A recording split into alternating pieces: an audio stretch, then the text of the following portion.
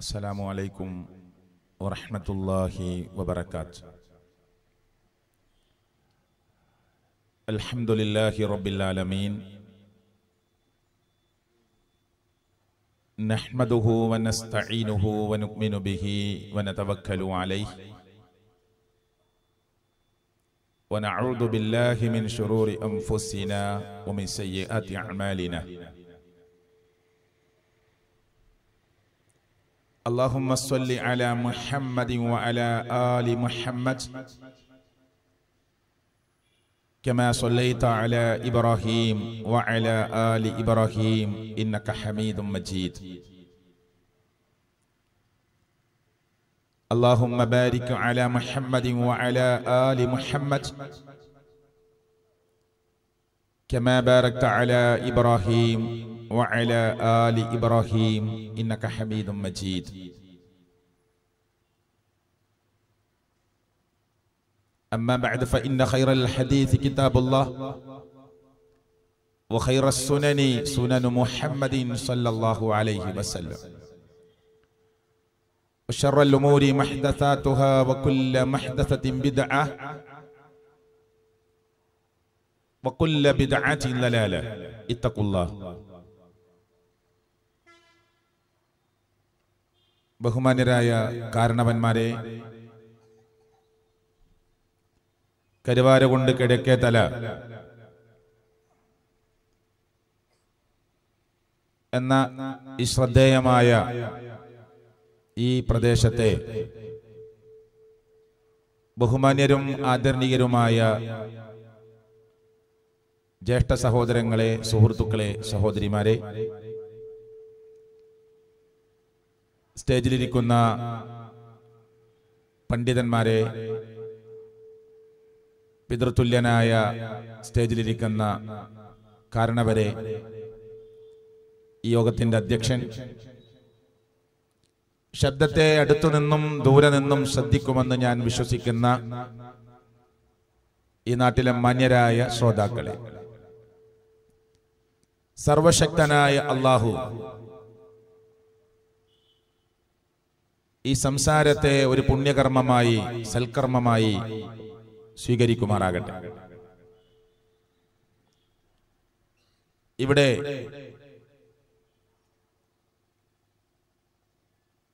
ഏതാനും മിനിറ്റുകൾ സംസാരിച്ചവരുടെ വാക്കുകളിലൂടെ നിങ്ങൾ കേട്ടതുപോലെ ഇത് ഏതെങ്കിലും അർത്ഥത്തിലുള്ള അടിച്ചമർത്തലിന്റെയോ ആക്ഷേപങ്ങളുടെയോ ആരോപണങ്ങളുടെയോ വാക്ക് കസർത്തുകൾക്കു വേണ്ടി കെട്ടിയ വേദിയല്ല. മറിച്ച് എന്റെയും നിങ്ങളുടെയും സ്രട്ടാവായ അള്ളാഹുവിന്റെ മതം. അത് മറപിടിച്ചുകൊണ്ട് പാവപ്പെട്ട മുസ്ലിം ഉമ്മത്തിലെ ഒന്നുമറിയാത്ത നിഷ്കളങ്കരായ യുവാക്കളെയും യുവതികളെയും പാരമ്പര്യത്തിന്റെ പേരു പറഞ്ഞ് മുന്നോട്ടു പോകുന്ന കാരണവന്മാരെയുമൊക്കെ ചതിച്ചുകൊണ്ടിരിക്കുന്ന വഞ്ചിച്ചുകൊണ്ടിരിക്കുന്ന ഏതൊക്കെയോ ആളുകൾ പ്രവർത്തിച്ചു കൊണ്ടിരിക്കുന്നുണ്ട് എന്നത് ഒരു സത്യമാണ്. അതാരാണ് എന്താണ് എങ്ങനെയാണ് എന്നത് ബോധ്യപ്പെടുത്തി കൊടുക്കേണ്ടത് ഒരു മുസ്ലിമിന്റെ വ്യക്തിപരമായ ബാധ്യതയാണ്. സംഘടനാപരമായി അതിനെ നാം മനസ്സിലാക്കേണ്ടത് ഒന്നുകൂടി അതിന്റെ ബാധ്യത വർദ്ധിക്കുകയാണ്.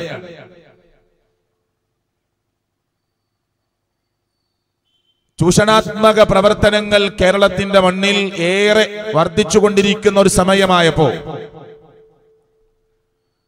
മുജാഹിദ് പ്രസ്ഥാനത്തിന്റെ പ്രബോധന സംഘമാകുന്ന വിസ്ഡം ഗ്ലോബൽ ഇസ്ലാമിക് മിഷൻ അതിന്റെ സംസ്ഥാന സമിതി ഒരു തീരുമാനമെടുത്തു.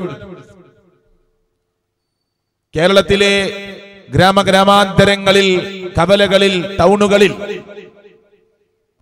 ആൾക്കൂട്ടങ്ങൾ ഉണ്ടാകാൻ സാധ്യതയുള്ള എല്ലാ പ്രദേശങ്ങളിലും രാജ്യം അനുവദിക്കുന്ന പെർമിഷൻ എടുത്തുകൊണ്ട് ഈ ആത്മീയ രംഗത്തെ ചൂഷണങ്ങളെ കുറിച്ച് ആളുകൾക്ക് ബോധ്യപ്പെടുത്തി കൊടുക്കുകയും ആളുകളെ ചൂഷണത്തിന്റെ ചതിയുടെ വഞ്ചനയുടെ ഗർത്തത്തിൽ നിന്ന് പടുകുടികളിൽ നിന്ന് ഗർത്തങ്ങളിൽ നിന്ന് രക്ഷപ്പെടുത്തി. ഇവിടെ അവാർഡ് വാങ്ങിപ്പോയ സഹോദരങ്ങൾ ഏതൊരു വിഷയത്തിനാണോ അവർക്ക് ഉന്നത മാർക്ക് കിട്ടിയത്? അത് പരിശുദ്ധ ഖുർആാനും തിരുസുന്നത്തും പഠിച്ചതിന്റെ അടിസ്ഥാനത്തിലാണെങ്കിൽ ആ ഖുർആാനിലേക്കും ആ സുന്നത്തിലേക്കും ആളുകളെ ഈ വഞ്ചനയുടെ മാർഗത്തിൽ നിന്ന് ചതിയുടെ മാർഗത്തിൽ നിന്ന് ചൂഷണത്തിന്റെ മാർഗത്തിൽ നിന്ന് തിരിച്ചു വിളിക്കുക എന്ന ലക്ഷ്യം മാത്രം. അതിന് സഹോദരങ്ങളെ ആരെയും തേജോപതം ചെയ്യേണ്ട ആവശ്യമില്ല. വ്യക്തിഹത്യ നടത്തേണ്ട ആവശ്യമില്ല. ആരെയും ചീത്ത പറയേണ്ട ആവശ്യമില്ല. ചീട്ട് കളിക്കാൻ പോയി ഇരിക്കുന്ന ആളുകളോട് കളിക്കരുതെന്ന് പറഞ്ഞോക്കി അവർക്ക് ദേഷ്യമാണ്. കള്ള് കുടിക്കുന്ന ആളുകളോട് കള്ള് കുടിക്കരുത് എന്ന് പറഞ്ഞാൽ അവർക്ക് വെറുപ്പാണ്. കുടിക്കരുത് എന്ന് പറഞ്ഞവരോട്. അന്യ സ്ത്രീകളോട് അന്യായമായി സംസാരിക്കുകയും പലതരത്തിലുള്ള ബന്ധങ്ങൾ സ്ഥാപിക്കാൻ ശ്രമിക്കുകയും ചെയ്യുന്നവരോട് അരുത് എന്ന് നിങ്ങൾ പറഞ്ഞാൽ അതൊക്കെ ഏത് മനുഷ്യർക്കും മനസ്സിലാകുന്ന കാര്യമാണ്. അതാരാണോ പറഞ്ഞത്? ആരോടാണോ പറഞ്ഞത്? ആ പറയപ്പെട്ട വ്യക്തിക്ക് പറഞ്ഞവനോട് വെറുപ്പാണ്. അല്ലേ? ലോകത്ത് നടക്കുന്ന ഏത് തിന്മകളും അത് തിന്മയാണ് ചെയ്യരുത് എന്ന് പറഞ്ഞാൽ ചെയ്തുകൊണ്ടിരിക്കുന്ന ആൾക്ക് അഡിക്റ്റായ മനുഷ്യന് അത് ചെയ്യരുത് എന്ന് പറയുന്നവരോട് വെറുപ്പാണ്. മുജാഹിദ് പ്രസ്ഥാനത്തിന്റെ ചരിത്രം നിങ്ങൾ ഏത് താളുകൾ പിറകോട്ടും മറിച്ച് മറിച്ച് പരിശോധിച്ചാലും ഇന്ത്യ രാജ്യത്തിന്റെ ഇരുപത്തൊമ്പത് സ്റ്റേറ്റിൽ കേരളം എന്ന് പറയുന്ന പ്രിയപ്പെട്ടവരെ വേറിട്ട് നിൽക്കുന്ന നമ്മുടെ ഈ നാട്ടിൽ മുജാഹിദ് പ്രസ്ഥാനം എന്ന് പറയുന്ന പ്രസ്ഥാനം സർവവിധ മതചൂഷണങ്ങൾക്കുമെതിരെ എക്കാലഘട്ടത്തിലും സംസാരിച്ച പ്രസ്ഥാനമാണ് ആളുകൾക്ക് എന്താ ഇത്ര വെറുപ്പ്? ആളുകൾക്ക് എന്താ ഇത്ര ദേഷ്യം? നിങ്ങളൊന്ന് ശരിക്കും അന്വേഷിച്ചു നോക്കി എന്താണ് ദേഷ്യത്തിന്റെ കാരണം? എന്താ ഈ വെറുപ്പിന്റെ കാരണം? നാട്ടിൽ വ്യഭിചാരത്തിലേക്ക് ഇറങ്ങാൻ ഇതിന്റെ ഏതെങ്കിലും ഒരു പ്രബോധകൻ പ്രഭാഷകൻ പ്രസ്ഥാനം പറയൂ. പറയില്ല. ആ സ്വഭാവത്തിലേക്ക് പോകാൻ സാധ്യതയുള്ള മേഖലകളെ അടച്ചു കളയണമെന്നാണ് പറയുക. ഖുർആൻ അങ്ങനെ പറഞ്ഞത് വല തക്രബുസിന നിങ്ങൾ വ്യഭിചരിക്കരുത് എന്നല്ല ഖുർആൻ പറഞ്ഞത്. പിന്നെ വ്യഭിചാരത്തിലേക്ക് നിങ്ങൾ അടുത്തു പോകരുത് എന്ന് പറഞ്ഞാൽ അതിന് സാധ്യതയുള്ള സീരിയലാണോ സിനിമയാണോ മാധ്യമങ്ങളാണോ മൊബൈലാണോ ഇന്റർനെറ്റ് ആണോ ചാറ്റിംഗ് ആണോ സർവതും നിങ്ങൾ നിർത്തിക്കോളൂ. സാധ്യതകളെ ഇല്ലാതാക്കുകയാണ് അള്ളാഹുവിന്റെ ഖുർആൻ അള്ളാഹുവിന്റെ കലാം. അല്ലേ? ഇത് മുജാഹിദ് പ്രസ്ഥാനം ധാർമ്മികമായ ഉത്തരവാദിത്വം നിർവഹിക്കുന്നു എന്ന നിലയ്ക്ക് കേരളത്തിന്റെ മണ്ണിനോട് മനുഷ്യരോട് അധർമ്മങ്ങൾക്കെതിരെ അനീതിക്കെതിരെ അസത്യങ്ങൾക്കെതിരെ എത്രയോ തവണ സംസാരിച്ച പ്രബോധകന്മാരാണ് മുജാഹിദ് പ്രസ്ഥാനത്തിലുള്ളത്. ഒരു തർക്കമില്ല അങ്ങനെ ഏത് വിഷയം എടുത്ത് നോക്കിക്കോ? ചൂതാട്ടമാകട്ടെ ചീട്ടുകളിയാകട്ടെ ലോട്ടറിയാകട്ടെ സർവവിധ കുറുക്കുവടികളിലൂടെ പണം സമ്പാദിക്കുന്ന ഏത് മാർഗമാകട്ടെ അതിനെതിരെ ഖുർആൻ സംസാരിച്ച വചനാമൃതങ്ങളെ എടുത്തുവെച്ച് ആളുകൾക്ക് മുമ്പിൽ ബോധവൽക്കരണം നടത്തി. നടത്തിയിട്ടില്ലേ? ഇവിടെ കലാപങ്ങളും കലുഷിതമായ അന്തരീക്ഷവും ഉണ്ടാകുമെന്ന് തോന്നുന്ന സമയത്ത് മുജാഹിദ് പ്രസ്ഥാനം ബാബരി മസ്ജിദിന്റെ താഴികക്കുടങ്ങളൊക്കെ തകർന്നു വീണ ആ പ്രത്യേക പശ്ചാത്തലത്തിൽ കേരളത്തിലെ മനുഷ്യരോട് ഇന്ത്യ രാജ്യത്തിലെ മനുഷ്യരോട് മനുഷ്യരെ നമ്മൾ ഒരു ദൈവത്തിന്റെ മക്കളാണ് മതം മനുഷ്യ സൗഹാർദ്ദത്തിനാണ് മതങ്ങളെ പഠിക്കുക വഴി മനുഷ്യർക്ക് സൗഹാർദ്ദം ഉണ്ടാവുകയാണ് ചെയ്യുക എന്ന ആഹ്വാനം തത്വം വലിയ സമ്മേളനത്തെ വെച്ച് ഓർക്കുന്നു നിങ്ങൾ എല്ലാവരും പാലക്കാടിന്റെ കോട്ട മൈതാനത്ത് മതം മനുഷ്യ സൗഹാർദ്ദത്തിന് എന്ന ഉജ്ജ്വലമായ പ്രോജ്വലമായ ഒരു സമ്മേളനത്തെ വിളിച്ചു ചേർത്ത് മുസ്ലിങ്ങളല്ലാത്ത വ്യത്യസ്തമായ മതങ്ങളുടെ മേലാധ്യക്ഷന്മാരെ പണ്ഡിതന്മാരെ സ്റ്റേജിൽ കൊണ്ടുവന്നിരുത്തി ഈ മനുഷ്യർ പരസ്പരം സ്നേഹിക്കേണ്ടവരാണ് കലഹിക്കേണ്ടവരല്ല പരസ്പരം അറിയേണ്ടവരാണ് അകന്നു പോകേണ്ടവരല്ല എന്ന് പഠിപ്പിച്ചു കൊടുക്കാൻ മുജാഹിദ് പ്രസ്ഥാനം അന്ന് സമയം കണ്ടെത്തി. അല്ലേ? എന്തൊരു തെറ്റാണ് ഈ പ്രസ്ഥാനം ഈ നാട്ടിലെ മനുഷ്യരോട് ചെയ്തിട്ടുള്ളത്? പറയുന്നതിൽ കാര്യമുണ്ടോ എന്ന് നിങ്ങൾക്ക് പരിശോധിക്കാം ഉണ്ടെങ്കിൽ സ്വീകരിക്കാം അല്ലെങ്കിൽ കളയാം. ആയിരക്കണക്കിന് പ്രസംഗങ്ങൾക്ക് സംസാരങ്ങൾക്ക് സാക്ഷിയായ മണ്ണായിരിക്കും കിടക്കതല. നാട്ടിൽ റോഡ് സൈഡിൽ നടക്കുന്ന ഏതെങ്കിലും ഒരു മരുന്ന് കച്ചവടം. അരമണിക്കൂർ മുക്കാൽ മണിക്കൂറൊക്കെ നിന്ന് കേൾക്കും ആളുകൾ. അവസാനം ഇയാളെ കണ്ട് കണ്ട് മരുന്ന് കച്ചവടക്കാരൻ പറയും നിങ്ങൾ വാങ്ങുന്നുണ്ടോ? അല്ലെങ്കിൽ ഒന്ന് മാറിക്കൊടുക്കുകയാണ് വെറുതെ നിൽക്കും ആളുകൾ അല്ലെ? അരമണിക്കൂർ മുക്കാൽ മണിക്കൂറൊക്കെ അതിന്റെ അടുത്ത് പോയിട്ട് അയാളുടെ വർത്തമാനത്തിന്റെ ഭംഗി കേട്ട് നിൽക്കുന്ന എത്രയോ മനുഷ്യരുണ്ട്. സഹോദരങ്ങളെ ഒരു മണിക്കൂർ സമയം ഒന്നര മണിക്കൂർ സമയം അത്രയേ ഉള്ളൂ. നിങ്ങൾ ഒന്ന് ഈ പ്രസ്ഥാനത്തിന് എന്താണ് പറയാനുള്ളത് എന്നൊന്ന് വളരെ സമാധാനത്തോടു കൂടി നിങ്ങൾ ഒന്ന് കേൾക്കുക. അവിടേക്കാണ് ഞാൻ വരുന്നത്. എന്താണ് ഈ പ്രസ്ഥാനം? ഈ സമൂഹത്തോട് ചെയ്ത തെറ്റ് ആർക്കെങ്കിലും എന്തെങ്കിലും പറയാനാവൂ? എന്തെങ്കിലും ഒരു പ്രശ്നം ഉണ്ടാക്കാൻ ഈ പ്രസ്ഥാനം എന്തെങ്കിലും പോയിട്ടുണ്ടോ? ഒരു നൂറ് മെമ്പർമാരുള്ള പ്രസ്ഥാനം കേരളത്തിലുണ്ടെങ്കിൽ അവർ ഹർത്താൽ പ്രഖ്യാപിക്കുന്ന നാടാണ് നമ്മുടെ നാട്. വെറും നൂറ് മെമ്പർമാർ മതി. വലിയ പതാകയും ബാനറും വലിയ ഒച്ചപ്പാടുകളും ബഹളങ്ങളും ചാനലിൽ വരലും പ്രത്യക്ഷപ്പെടലൊക്കെ മതി. ഒരു നൂറ് മെമ്പർമാർ. ഇത് നടത്തുന്ന വിസ്ഡം ഗ്ലോബൽ ഇസ്ലാമിക് മിഷൻ എന്ന് പറയുന്ന പ്രസ്ഥാനത്തിന്റെ എം എസ് എം എന്ന് പറയുന്ന വിഭാഗത്തിന് ആയിരക്കണക്കിന് മെമ്പർമാരുണ്ട്. ഞാൻ വെറുതെ പറയില്ല. അതിന്റെ ഹൈസക്കുകളും പ്രോഫ്കോണുകളും ഒക്കെ നിരീക്ഷിക്കാൻ വേണ്ടി വന്ന പങ്കെടുക്കാൻ വന്ന പോലീസ് ഉദ്യോഗസ്ഥന്മാരിലെ ഉന്നത ഉദ്യോഗസ്ഥന്മാർ. നമ്മുടെ കേരളം ഭരിക്കുന്ന ഈ മന്ത്രിസഭയിലെയും കഴിഞ്ഞുപോയ മന്ത്രിസഭയിലെയും ഉന്നത നേതാക്കന്മാർ. കേന്ദ്ര മന്ത്രിസഭയിലെ ആളുകൾ. കേരളത്തിന് പുറത്തുള്ള മറ്റു സ്റ്റേറ്റുകളിലെ രാഷ്ട്രീയ സാംസ്കാരിക നേതാക്കന്മാർ നമ്മളോട് ചോദിച്ച ചോദ്യമുണ്ട് എങ്ങനെ കഴിയുന്നു നിങ്ങൾക്ക്? വാദ്യമേളങ്ങളുടെ അകമ്പടിയില്ലാതെ മ്യൂസിക്കിന്റെ അരങ്ങ് തകർക്കലുകളില്ലാതെ ഗാനമേളകളോ നൃത്തങ്ങളോ ഒന്നുമില്ലാതെ ആയിരക്കണക്കിന് ടീനേജിൽ നിൽക്കുന്ന യൗവനപ്രായത്തിൽ നിൽക്കുന്ന ചോരത്തിളപ്പുള്ള ഈ ആൺകുട്ടികളെയും പെൺകുട്ടികളെയും ഒരു പന്തലിന്റെ കീഴിൽ അത് ഒരു ദിവസമല്ല ഒരു മണിക്കൂറല്ല. മൂന്ന് ദിവസം നിങ്ങൾക്ക് അടക്കിയിരുത്താൻ നിങ്ങളുടെ കയ്യിൽ എന്തൊരു മാന്ത്രിക ശക്തിയാണ് നിങ്ങളുടെ കയ്യിലുള്ളത് എന്ന് ചോദിക്കുന്നു അവർ. ഒരു പതാക ഉണ്ടോ? ഒരു രാഷ്ട്രീയ പ്രസ്ഥാനത്തിന്റെ അടയാളം വെക്കാൻ? ഇല്ല. ഇല്ല സഹോദരങ്ങൾ ഇത് കേൾക്കുന്ന പോലീസ് ഉദ്യോഗസ്ഥന്മാരുണ്ടോ? കേരളക്കരയിലെ എല്ലാ പോലീസ് സ്റ്റേഷനിലെയും ഫയലുകൾ എടുത്ത് പരിശോധിച്ചോളൂ. കമ്പ്യൂട്ടറൈസ്ഡ് ആണെന്നല്ല. എം എസ് എമ്മിന്റെ പേരിൽ കോളേജ് ക്യാമ്പസിൽ ഏതെങ്കിലും ഒരു ചില്ലുടച്ചത് ഒരു പ്രിൻസിപ്പാളെ പൂട്ടിയിട്ടത് ഒരു എച്ച് എമ്മിനെ അടിച്ചത് ഏതെങ്കിലും ഒരു കേസ് എം എസ് എമ്മിന്റെ മക്കളുടെ പേരിലുണ്ടോ? എവിടെയില്ല. ഒരു ധർണ നടത്തുന്നത് ഒരു ഹർത്താൽ പ്രഖ്യാപിക്കുന്നത് പതിനായിരക്കണക്കിന് മെമ്പർമാരുള്ള ഒരു പ്രസ്ഥാനത്തിന് ചെയ്തൂടെ? ഇല്ല. അതല്ല ലക്ഷ്യം. ലക്ഷ്യം ഈ നൈമിഷികമായ നശ്വരമായ ഭൂമിയിലെ പളപളപ്പല്ല. ഇവിടുത്തെ ഏതെങ്കിലും ഒച്ചപ്പാടുകളല്ല ബഹളാത്മകമായ പ്രവർത്തനങ്ങളല്ല. ആളുകളെ കൂട്ടാനുള്ള ഏതെങ്കിലും അർത്ഥത്തിലുള്ള മാസ്മരികമായ ഏതോ അർത്ഥത്തിലുള്ള പ്രസംഗങ്ങളല്ല. അല്ല സഹോദരങ്ങളെ ഒരിക്കലുമല്ല. പിന്നെ എന്താ ഈ പ്രസ്ഥാനത്തിനുള്ള പ്രത്യേകത എന്താണ്? ആളുകൾക്ക് ഇഷ്ടപ്പെടാതെ പോകുന്നതിന്റെ പ്രധാന പോയിന്റ് എന്താണ്? ഏകനായ ഒരു സ്രട്ടാവിലേക്ക് ക്ഷണിക്കൽ ഇഷ്ടപ്പെടാതിരിക്കാനുള്ള കാരണമാകാൻ പറ്റുമോ? ആയിട്ടുണ്ട് ലോകത്തിന്റെ ചരിത്രത്തിൽ എവിടെയും. എവിടെയും. ഖുറാനിൽ നൂറ്റി പതിനാല് അധ്യായം. അല്ലേ? അതിൽ ആറായിരത്തി ഇരുന്നൂറ്റി മുപ്പത്തി ആറ് വചനങ്ങൾ. അതിൽ ഒന്നാമത്തെ അധ്യായം സൂറത്തുൽ ഫാത്തിഹ രണ്ട് സൂറത്തുൽ ബക്കറ. ആ സൂറത്തുൽ ബക്കറയിൽ മനുഷ്യരെ അഭിസംബോധന ചെയ്യുന്ന ആദ്യത്തെ വചനം തൗഹീദ് കൊണ്ട് നിറഞ്ഞു നിൽക്കുന്ന വചനമാണ്. അള്ളാഹുവിനെ പരിചയപ്പെടുത്തുന്നു അവന്റെ സൃഷ്ടിപ്പിന്റെ വൈഭവത്തെ പറയുന്നു ആകാശത്തെ ഓർമ്മപ്പെടുത്തുന്നു ഭൂമിയെ ഓർമ്മപ്പെടുത്തുന്നു.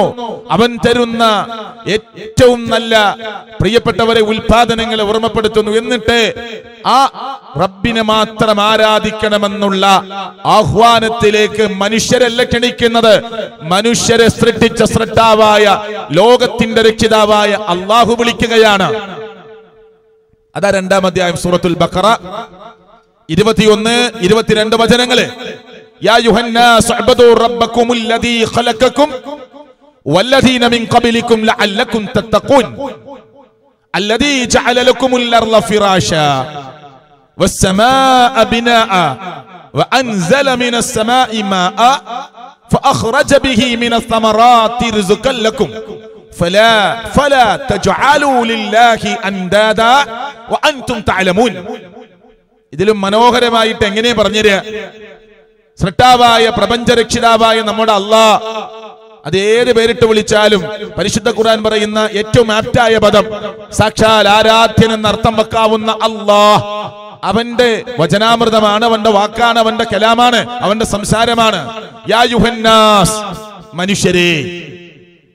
ഇതാ മുജാഹിദ് പ്രസ്ഥാനം എവിടെയും പ്രസംഗിക്കുക. അതിന്റെ ബേസാണ് മനുഷ്യരെ നിങ്ങൾ അള്ളാൻ ആരാധിക്കണം.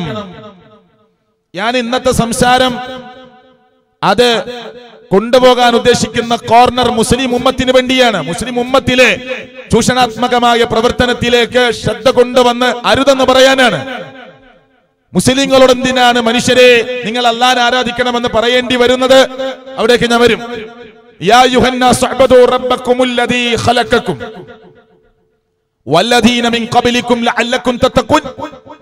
സൂക്ഷ്മതാബോധം പുലർത്താൻ എന്നോടും നിങ്ങളോടും അള്ളാഹു ആവശ്യപ്പെടുമ്പോ അല്ല പറഞ്ഞു തരുന്ന രണ്ട് വാചകങ്ങൾ ശ്രദ്ധേയമാണ് അവിടെ ഒന്ന് എന്താ? നിങ്ങൾ ആരാധിക്കേണ്ടത് നിങ്ങളെ സൃഷ്ടിച്ച സൃഷ്ടാവിനെയാണ് രണ്ട് നിങ്ങളെ മാത്രമല്ല നിങ്ങൾക്ക് മുമ്പുള്ളവരെയും സൃഷ്ടിച്ചവനായ സൃഷ്ടാവിനെ പിന്നെ സംശയമില്ല. ആദ്യത്തെ പിതാവ് ആദ്യത്തെ മനുഷ്യൻ ആദ്യത്തെ നബി. ആദൻ നബി അലൈഹിസ്സലാത്തു വസ്സലാം. കളിമണ്ണിന്റെ മുട്ടിയാൽ ശബ്ദമുണ്ടാകുന്ന കളിമണ്ണിന്റെ സത്തയില്ലെന്ന് രൂപം കൊടുത്ത് പ്രിയപ്പെട്ടവരെ മനുഷ്യനാക്കി എഴുന്നേൽപ്പിച്ചു നിർത്തിയ ഈ ലോകത്തിന്റെ രക്ഷിതാവായ അള്ളാഹു പറയാണ് നിങ്ങളെയും നിങ്ങൾക്ക് മുമ്പുള്ളവരെയും സൃഷ്ടിച്ചവനാരോ? അവൻ ആരാധിക്കണം? ഏത് മനുഷ്യർക്കും മനസ്സിലാകാനാണല്ലോ പറഞ്ഞത്. എന്ത്? അവനാണ് ഭൂമിയെ നിങ്ങൾക്ക് വിധാനിച്ചു തന്നത്. അവനാണ് ആകാശങ്ങളെ മേൽക്കൂരയാക്കി നിർത്തിത്തന്നത്. അവനാണ് ആകാശത്തു നിന്ന് വെള്ളമിറക്കി തരുന്നത്. അതുകൊണ്ട്. ആ റബ്ബിന് നിങ്ങളെ സമന്മാരെ വെക്കരുത്. പകരക്കാരെ കണ്ടെത്തരുത്. അവന് തുല്യനായി ആരുമില്ല അവനെ പോലെ ഒന്നുമില്ല. അവനെ സദൃശ്യപ്പെടുത്താൻ പറ്റുന്ന ഒന്നുമില്ല. സ്വമദ് ലം യലിദ് വലം യൂലദ് വലം യകുൽ ലഹു കുഫുവൻ അഹദ്. എന്തറിയാത്ത ഒരു മുസ്ലിമില്ല. അല്ലേ? ആകാശത്തുനിന്ന് വെള്ളിറക്കി തരുന്നത് അവനാണ്. ഇതിലൊക്കെ സംശയിക്കുന്ന മുസ്ലിങ്ങളുണ്ട്. മുസ്ലിം പേരിട്ടവർ മുസ്ലിങ്ങൾ എന്ന് പറഞ്ഞാൽ അത് ആ പദപ്രയോഗത്തോട് ചെയ്യുന്ന ക്രൂരതയാകും. അല്ലേ? ആകാശത്തുനിന്ന് വെള്ളമിറക്കി തരുന്ന മഹാനെ എന്ന് തൗഹീദ് പഠിപ്പിച്ച് ജീവിച്ചു മരിച്ചുപോയ അല്പമൊക്കെ സൂഫി ചിന്തകൾ ഉണ്ടെങ്കിലും അള്ളാഹുവിന്റെ ബഹദാനിയത്തിൽ ഒരിക്കലും നിങ്ങൾ മായം ചേർക്കരുത് എന്ന് ഗ്രന്ഥമെഴുതി ലോകത്തോട് വിട പറഞ്ഞു പോയ ചൊല്ലുകയും റബ്ബല്ലാത്ത ആളുകളിലേക്ക് പ്രാർത്ഥനകളും വഴിപാടുകളും നേർച്ചകളും അർപ്പിക്കുന്ന മുസ്ലിം പേരിട്ടവരെ കണ്ടിട്ട് വേദനയോടുകൂടി ചോദിച്ച ഒരു മഹാനുണ്ട് ഷെയ്ഖ് മുഹിയുദ്ദീൻ റഹ്മത്തുല്ലാഹി അലൈഹി. എന്താ ചോദിച്ചത് അദ്ദേഹത്തിന്റെ പുസ്തകത്തിൽ? കൈഫ. തഖൂലു ലാ ഇലാഹ ഇല്ലല്ലാഹ്. ചങ്ങാതി നീ എന്തിനാണ് ലാ ഇലാഹ ഇല്ലല്ലാഹ് പറയുന്നത്? ഏത് മനുഷ്യനോടും ചോദിക്കണേ? ചോദിക്കുന്നത് ആരാ? മഹിദീൻ ഷെയ്ഖ്. അല്ലേ? അബ്ദുൽ ഖാദർ ജീലാനി എന്നറിയപ്പെടുന്ന ഇറാഖിന്റെ മണ്ണിൽ ബാഗ്ദാദിന്റെ മണ്ണിൽ മരമാടപ്പെട്ട് കിടക്കുന്ന ജീവിച്ചിരിക്കുന്ന കാലത്ത് ഗ്രന്ഥമെഴുതി ലോകത്തോട് തൗഹീദ് പഠിപ്പിച്ചു കൊടുത്ത് മരിച്ചുപോയ പുസ്തകത്തിലാണ് പറയുന്നത് ലാ ഇലാഹ ഫീ ഖൽബിക നിന്റെ കൽബിൽ എത്ര എത്ര ഇലാഹുകളാണ്? ഇതാരോടാ ചോദിച്ചത്? ആരോടാ ചോദിച്ചത്? മുസ്ലിങ്ങളുടെ അല്ലേ നീ എന്തിനാണ് ലാ ഇലാഹ ഇല്ലല്ലാഹ് പറയുന്നത്? നിനക്കത് പറയാനുള്ള അവകാശം ഉണ്ടോ ഇത് ചോദിക്കുന്ന ആരോടാ? അമുസ്ലിങ്ങളോടാണോ മുസ്ലിങ്ങളോടാണോ? അല്ല. നീ എന്തിനാ സുഹൃത്തെ ലാ ഇലാഹ ഇല്ലല്ലാഹ് ചൊല്ലിയിട്ട് പിന്നെ എങ്ങനെ ജീവിക്കുന്നത് എന്ന് ചോദിക്കുന്നത്? ആരോടായിരിക്കും? മുസ്ലിങ്ങളോടല്ലേ? ചോദിച്ചത് എന്താ നിന്റെ കൽബിൽ എത്ര എത്ര ഇലാഹുകളാണ്? അതെന്താ? അവിടേക്കല്ലേ നമ്മൾ ചർച്ച വരേണ്ടത്? അവിടേക്കല്ല പ്രിയപ്പെട്ടവരെ മുസ്ലിം ഉമ്മത്തിന്റെ ശ്രദ്ധ ക്ഷണിക്കേണ്ടത്? അവിടെയല്ലേ ഞാനും ഈ ഉൾക്കൊള്ളുന്ന സമുദായത്തിൽ ജീവിക്കുന്ന മുസ്ലിങ്ങളും ആരൊക്കെയോ പിഴച്ചുപോയിട്ടുണ്ട് എന്ന് മനസ്സിലാക്കുകയും വിലയിരുത്തുകയും ചെയ്യേണ്ടത് മുസ്ലിങ്ങളോടാണ് മൊയ്തി ഷേഖ് ചോദിക്കുന്നത്. എന്തിനാ നീ ഇലാഹ ഇല്ലെന്ന് പറയുന്നത്? നീ അള്ളാനെ വിട്ടിട്ട് സർവശക്തനായ ഇലാഹിനെ വിട്ടിട്ട് എത്രയോ ഇലാഹുകളാണ് നിന്റെ കൽബിൽ എന്ന് ഈ മഹാനായ ഷെയ്ഖ് ആ ഷെയ്ഖിനോടാണ് ഇപ്പോ ആകാശത്തിന്റെ മേലാപ്പിൽ നിന്ന് വെള്ളമിറക്കുന്ന ഷെയ്ഖേ എന്ന് ഗദ്യപദ്യമായി ചൊല്ലിക്കൊണ്ടിരിക്കുന്നത്. ആരോട്? മൊയ്തി ഷെയ്ഖിനോടാണ് വെള്ളത്തിന് ക്ഷാമം വരുമ്പോ ചോദിക്കുന്ന പാവപ്പെട്ട മുസ്ലിം ഉമ്മത്തിനെ അർത്ഥമറിഞ്ഞോ അറിയാതെയോ ചൊല്ലിപ്പിക്കുന്ന വിശ്വാസരംഗത്ത് പാവപ്പെട്ട മുസ്ലിം ഉമ്മത്തിനെ ചതിയിലേക്കും വഞ്ചനയിലേക്കും കൊണ്ടുപോകുന്ന ഏതൊക്കെയോ വിഭാഗങ്ങൾ പ്രവർത്തിച്ചു കൊണ്ടിരിക്കുന്നു ഇത് പറയണ്ടേ? ആര് പറയും? ഇന്ത്യ രാജ്യത്തിന് സ്വാതന്ത്ര്യമുണ്ട് പെർമിഷൻ ഉണ്ട് പെർമിഷൻ എടുത്തിട്ട് പറഞ്ഞു കൊടുക്കാം. മുസ്ലിങ്ങൾക്കിടയിലെ ചൂഷണങ്ങൾ പറഞ്ഞു കൊടുക്കാം. വിശ്വാസ രംഗത്തെ ആചാര രംഗത്തെ അനുഷ്ഠാന രംഗത്തെ മതം പറഞ്ഞിട്ടില്ലാത്ത കാര്യങ്ങൾ ചെയ്യരുത് എന്ന് പറയാൻ ഇവിടെ അനുവാദമുണ്ട്. അതാ ഈ രാജ്യത്തിന്റെ പ്രത്യേകത. അല്ലേ? ഇനി നിങ്ങൾ ശ്രദ്ധിച്ചു നോക്കൂ സഹോദരങ്ങളെ. നേരത്തെ ബഹുമാനായ ഷെരീഫ് കരുവാര കൊണ്ട് സൂചിപ്പിച്ചതിൽ നിന്ന് ഞാൻ ആരംഭിക്കുകയാണ്. എത്ര സമയം നമുക്ക് ഇങ്ങനെ സംസാരിക്കാനാവോ? അത്ര സമയം. സംസാരിച്ച് ഞാൻ എന്റെ വാക്കുകൾ അവസാനിപ്പിക്കുമ്പോ ഏറ്റവും മർമ്മപ്രധാനമായ ഭാഗത്തുനിന്ന് ഞാൻ ആരംഭിക്കുകയാണ്. മുസ്ലിങ്ങൾ ഇന്ന് കടുത്ത ഷിർക്കിലേക്ക് നടന്നു പോകുന്നുണ്ട്. ഇന്നല്ല ഇന്നലകളിൽ അല്ല പതിറ്റാണ്ടുകൾക്കപ്പുറം നൂറ്റാണ്ടുകൾക്കപ്പുറം ഉണ്ട്. ഉണ്ട് സഹോദരങ്ങളെ ഈസാ നബി അലഹി സ്വലാത്തു വസ്സലാം ലോകത്ത് നിന്ന് ദൈവസന്നിധിയിലേക്ക് ഉയർത്തപ്പെട്ടിട്ട് അറുന്നൂറ് കൊല്ലം പിന്നിട്ടതിന് ശേഷമാണ് ഹബീബുന മുഹമ്മദ് മുസ്തഫ സല്ലല്ലാഹു അലൈഹി വസല്ലമ അവസാനത്തെ പ്രവാചകനായി മക്കയിൽ ഭൂജാതനായ അബ്ദുള്ളയുടെ മകനായി ആമിനയുടെ പുത്രനായി ജനിച്ചു വളർന്ന് അനാഥനായി വളർന്നു വലുതായ മുഹമ്മദ് മുസ്തഫ സല്ലല്ലാഹു അലൈഹി വസല്ലമയെ അള്ളാഹു തആല അവസാനത്തെ പ്രവാചകനായി തെരഞ്ഞെടുക്കുന്നത്. അല്ലേ? അന്ന് തുടങ്ങി ഈ തൗഹീദിന്റെ വാക്കുകൾ എവിടെ പറഞ്ഞോ അവിടെ തുടങ്ങി വെറുപ്പ്. അതോ വെറുപ്പ് എവിടുന്ന തുടങ്ങിയത്? ഉദാഹരണം മാത്രം പറയാനാണ് വിശദീകരണത്തിലേക്ക് കിടക്കുന്നില്ല. സൂറത്ത് എല്ലാവർക്കും അറിയുന്ന ഖുർആാനിലെ ഒരു ചെറിയ സൂറത്താണ് തബ്ബത്ത് യദാ എന്ന് തുടങ്ങുന്ന അധ്യായം. അത് മുസ്ലിങ്ങളെ നമ്മൾ ശരിക്കും മനസ്സിലാക്കിക്കോ. അള്ളാന്റെ റസൂൽ കൂട്ടുകുടുംബങ്ങളെയും ബന്ധുക്കളെയൊക്കെ വിളിച്ചിട്ട് ഈ തൗഹീദ് അങ്ങ് പറഞ്ഞു കൊടുത്തപ്പോ ചരിത്രം ഞാൻ പറയണില്ല അതൊക്കെ ഒരു ആവർത്തന വിരസത ഉണ്ടാക്കും. കേട്ട് കേട്ടും അടുത്തതായിരിക്കും അല്ലേ? അവിടെ വെച്ച് അബൂലഹബ് എന്ന് പറയുന്ന കുടുംബക്കാരൻ ചോദിച്ചതും പറഞ്ഞതെന്താ? തബ്ബല്ലക് യാ മുഹമ്മദ് എന്തു പറഞ്ഞപ്പോഴാ? എന്തു പറഞ്ഞപ്പോഴാ? നിങ്ങൾ ആരാധിച്ചു കൊണ്ടിരിക്കുന്ന സർവ ഇലാഹുകളെയും വിട്ടിട്ട് സർവതിനെയും ഉപേക്ഷിച്ചിട്ട് എല്ലാം സൃഷ്ടിച്ച് സംരക്ഷിച്ചു പരിപാലിക്കുന്ന ഏകനായ സൃഷ്ടാവിനെ അള്ളാനെ മാത്രം നിങ്ങൾ ആരാധിക്കണം എന്ന് പറഞ്ഞപ്പോ എല്ലാ ഇലാഹുകളെയും വിട്ട് ഒരൊറ്റ ഇലാഹിലേക്ക് കൊണ്ടുപോകാനാണോ? താങ്കൾ ഇങ്ങോട്ട് വന്നത് ആണോ? മുഹമ്മദ് അലി ഇത് പറയാനാണോ? നീ ഞങ്ങളെ വിളിച്ചു കൂട്ടിയത് കുടുംബക്കാരാ ചോദിക്കുന്നത്. എഴുന്നേറ്റ് നിന്ന് തബ്ബല്ലക് എന്ന് പറഞ്ഞത് ആരാ? കുടുംബക്കാരനായ അബുലഹബാണ് അത് ഖുർആാനിന്റെ ഒരു പ്രത്യേകത കൂടിയാണ്. അമുസ്ലിങ്ങളെ ഏതെങ്കിലും ഒരാൾ ഇത് കേൾക്കുന്നുണ്ടെങ്കിൽ ഖുർആാനിൽ ഒരു മനുഷ്യനെ ശപിച്ചു പറഞ്ഞു. രക്ഷപ്പെടൂല എന്ന് പറഞ്ഞു. ഇരു കൈകളും നഷ്ടപ്പെട്ടു എന്ന് പറഞ്ഞാൽ ഈ ലോകവും പോയി പരലോകവും പോയി എന്നാണ്. ജീവിതകാലത്ത് തമാശക്ക് വേണ്ടി അബൂലഹബും ഭാര്യയും വന്നിട്ട് ഞങ്ങൾ മുസ്ലിം ആയിരിക്കുന്നു എന്ന തമാശക്ക് കാപ്പറ്റത്തിന്റെ മുഖം വെച്ചുകൊണ്ട് കാപ്പറ്റ്യത്തിന്റെ മുഖം വെച്ചുകൊണ്ട് തമാശക്ക് ഉള്ളു വിശ്വസിക്കാതെ തമാശക്ക് വെറുതെ പറയാണ് ഞങ്ങൾ മുസ്ലിം ആവേണ് എന്ന് പറഞ്ഞ് ഇസ്ലാമിലേക്ക് പ്രവേശിക്കാനുള്ള ഷഹാദത്ത് കരിമകളൊക്കെ ചൊല്ലിയിട്ട് ഒരു മുസ്ലിമായി മുസ്ലിമത്തായി ആ ചങ്ങാതിയും ഭാര്യയും അഭിനയിച്ച് നടന്നിട്ടുണ്ടെങ്കിൽ ഈ ഖുർആാനിന്റെ വാക്കുകൾക്ക് എന്ത് വിലയാണ്?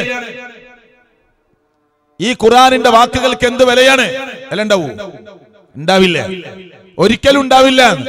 ശരി അത് വേറെ വിഷയമാണ്. അത് ഖുർആാനിന്റെ വല്ലാത്ത പ്രത്യേകതകളിൽ ഒന്നാണ്. കുടുംബക്കാരൻ എഴുന്നേറ്റ് നിന്നു ശപിച്ചു പറഞ്ഞു. അപ്പൊ ദഴവത്ത് പ്രബോധനം സത്യസന്ധമായി ആര് ചീത്ത പറയണ്ട. ഒരു തിന്മക്കും ഒരിക്കലും പ്രോത്സാഹനം കൊടുക്കാൻ പാടില്ല കൊടുത്തിട്ടില്ല കൊടുക്കുകയുമില്ല. പിന്നെ നന്മകൾക്ക് മോട്ടിവേഷൻ കൊടുക്കുക. ഏറ്റവും വലിയ നന്മയാകുന്ന ഏകദൈവ ആരാധനയെ കുറിച്ച് പറഞ്ഞു കൊടുക്കുക. ഏറ്റവും വലിയ പാപമാകുന്ന ഷിർഖിനെ കുറിച്ച് ബോധ്യപ്പെടുത്തി കൊടുക്കുക. എന്നാൽ അതും മതി. നമ്മെ ശത്രുവായി കാണാൻ. അതാണ് മർമ്മം. അവിടെയാണ് പിശാജ് പണിയെടുക്കുക. ഇത് കേൾക്കുമ്പോഴാണ് ഈ സത്യത്തിലേക്ക് വരുന്ന വഴിയിലാണ് ഒരു മതിൽക്കെട്ട് പിശാജിടുക പ്രതിസന്ധി ഉണ്ടാക്കുക തടസ്സം സൃഷ്ടിക്കുക. അതാണ് പിശാജിന്റെ ഡ്യൂട്ടി. അതുകൊണ്ടാണ് ഈ വഹ്ദാനിയത്ത് അള്ളാഹുവിന്റെ വഹ്ദാനിയത്ത് പറയുന്ന മുജാഹിദ് പ്രസ്ഥാനത്തോട് ആദർശപരമായി ഒരു നിലക്കും പ്രിയപ്പെട്ടവരെ ഏറ്റുമുട്ടാനാവുകയില്ല. ആദർശം ആദർശം കൊണ്ട് നേരിടാൻ കയ്യിൽ ആദർശം വേണ്ടേ എന്ന് തോന്നിയ ഘട്ടത്തിലാണ് നേരത്തെ ആമുഖ സംസാരത്തിൽ സൂചിപ്പിച്ചതുപോലെ തീവ്രവാദ ആരോപണങ്ങളുമായി വരേണ്ടി വരുന്നത്. അള്ളാഹു അവർക്ക് സത്യസന്ധമായി പഠിക്കാനുള്ള തൗഫീക്ക് നൽകുമാറാകട്ടെ. അല്ലേ? വെള്ളിയാഴ്ച ദിവസമൊക്കെ അതിന്റെ നിജസ്ഥിതികൾ ഖുറാനിന്റെ വാചകങ്ങൾ ഓതിക്കൊടുത്ത് ഹദീസുകൾ ഓതിക്കൊടുത്ത് സമാധാനത്തിലേക്ക് ക്ഷണിക്കാൻ തീവ്രവാദത്തിനെതിരെ ബോധ്യപ്പെടുത്തി കൊടുക്കാൻ ഐ എസ് മുസ്ലിങ്ങളുടെ ശത്രുവാണെന്ന് പഠിപ്പിച്ചു കൊടുക്കാൻ ഒരിക്കലും ബലാത്കാരം മതത്തിൽ ഇല്ലെന്ന് പറയാൻ ലാ ഇക്റാഹ ഫിദ്ദീൻ എന്ന് ഓതിക്കൊടുക്കാൻ പ്രിയപ്പെട്ടവരെ പറഞ്ഞാൽ മതി ഉത്ബോധിപ്പിച്ചാൽ മതി ഫദക്കിർ ഇന്നമാ അൻത അലൈഹിം ഇല്ലാ മൻ തവല്ല മിമ്പറിൽ ചോദിക്കൊടുക്കണേ. ഇതൊക്കെ ഈ നാട്ടിലെ നിയമപാലകരും അതുപോലെ രാഷ്ട്രീയ നേതാക്കന്മാരൊക്കെ അറിയണം കേൾക്കണം. മുജാഹിദ് പ്രസ്ഥാനത്തിന്റെ മെമ്പറിലൊക്കെ വെച്ച് പറഞ്ഞു കൊടുക്കുകയാണ് ഇപ്പൊ ഇവിടെ മരുതങ്ങൽ ബഹുമാനായ താജുദ്ദീൻ സലാഹിയുടെ ഹുത്തുബക്കൊന്ന് പോയി കേട്ടോക്ക് നിങ്ങൾ. അല്ലേ?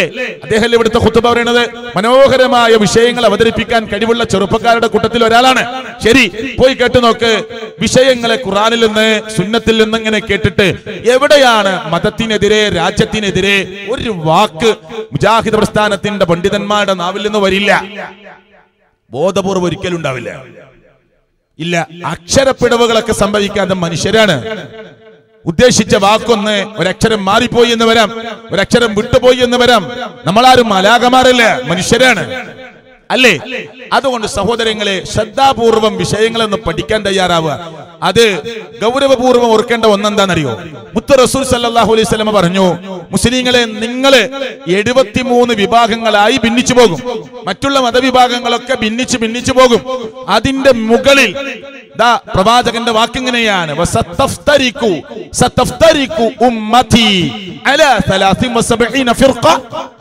എന്റെ ഉമ്മത്ത് എഴുപത്തി മൂന്ന് വിഭാഗങ്ങളായി പിരിഞ്ഞു പോകും.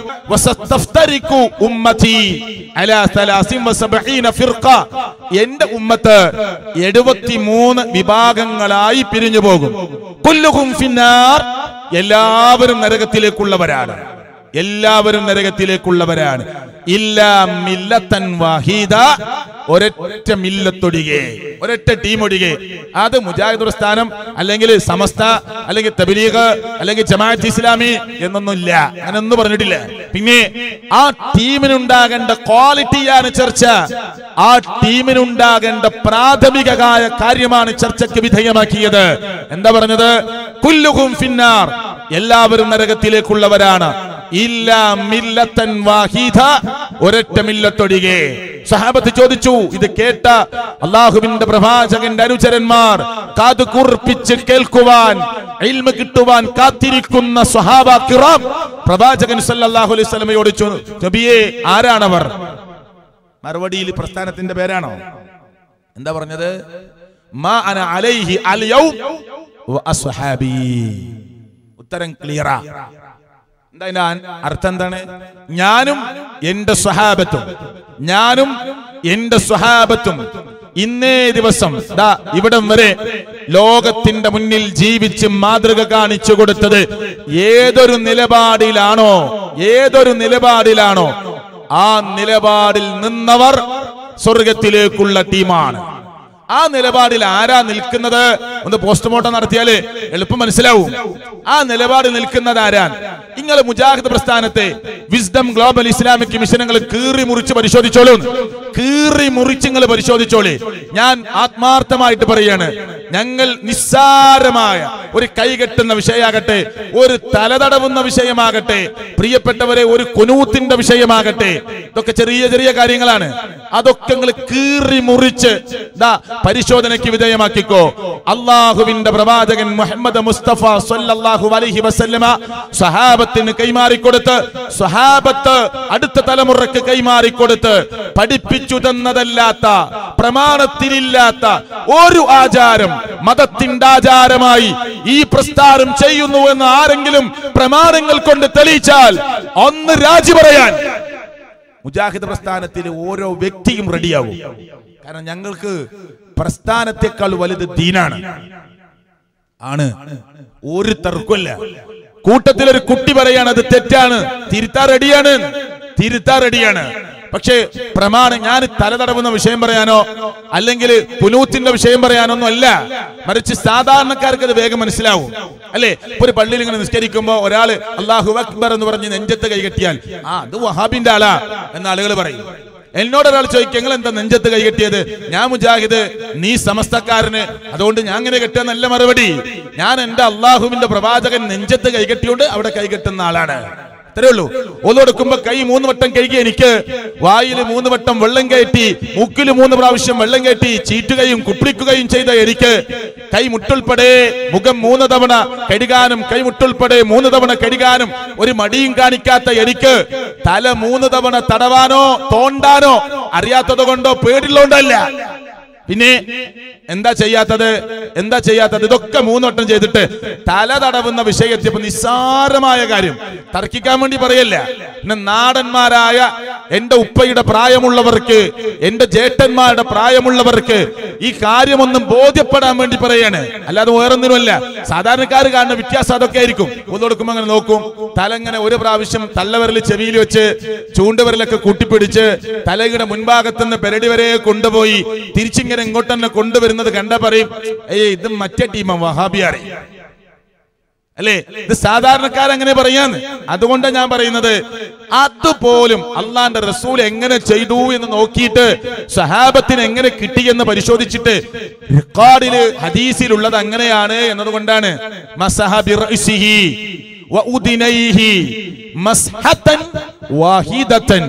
ഇത് ഏത്? ഒരു ഏഴാം ക്ലാസ്സിൽ വരെ എട്ടാം ക്ലാസ് വരെ മദ്രസയിൽ പോയ കുട്ടിക്ക് അഞ്ചാം ക്ലാസ് വരെ മദ്രസയിൽ പോയ കുട്ടിക്ക് എന്നെ അർത്ഥം വെക്കാൻ അറിയില്ലേ? അറിയില്ലേ? മസഹ തടവി.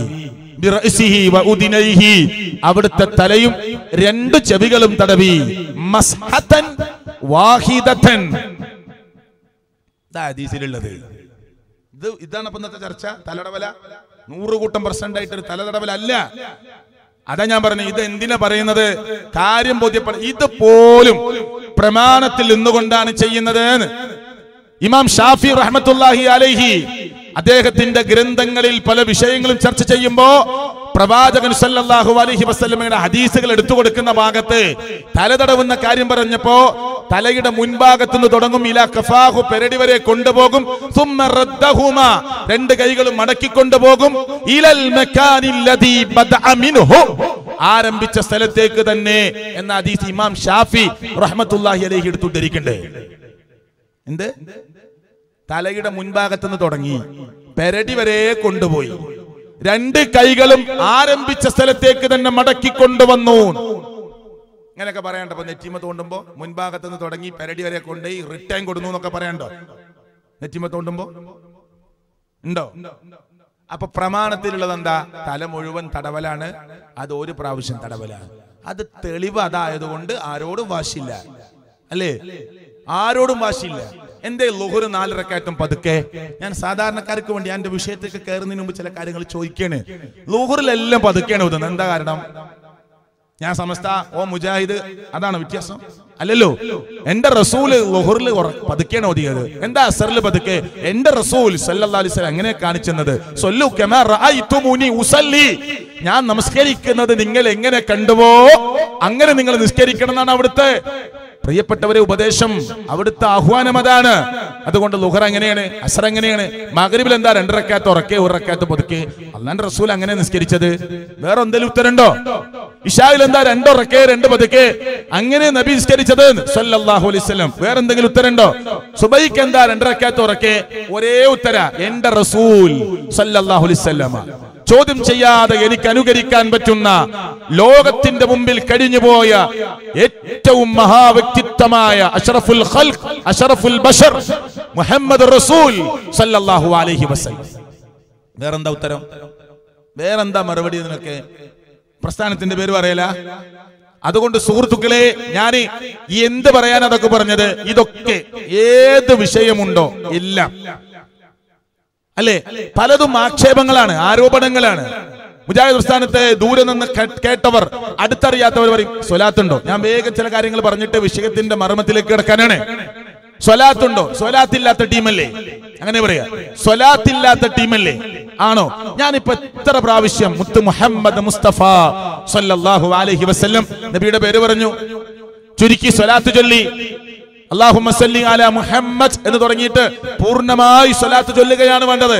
ഒരു പ്രസംഗത്തിലൊക്കെ നൂറുകണക്കിന് തവണ ഉമ്മയേക്കാൾ വാപ്പയേക്കാൾ ജേട്ടനേക്കാൾ അനിയനേക്കാൾ ഭാര്യയേക്കാൾ മക്കളെക്കാൾ സ്വത്തിനേക്കാൾ ആസ്തിയേക്കാൾ ക്രയവിക്രയത്തേക്കാൾ സർവതിനേക്കാൾ അല്ല കഴിഞ്ഞാൽ ഒരു മുക്മിനിന് ഇഷ്ടപ്പെട്ടത് അള്ളാഹുവിന്റെ പ്രവാചകൻ മുഹമ്മദ് റസൂൽ സല്ലല്ലാഹു അലൈഹി വസ്ലമയായതുകൊണ്ട് നൂറുകണക്കിന് തവണ ഒരു പ്രസംഗത്തിലെ അവിടുത്തെ പേര് വരും.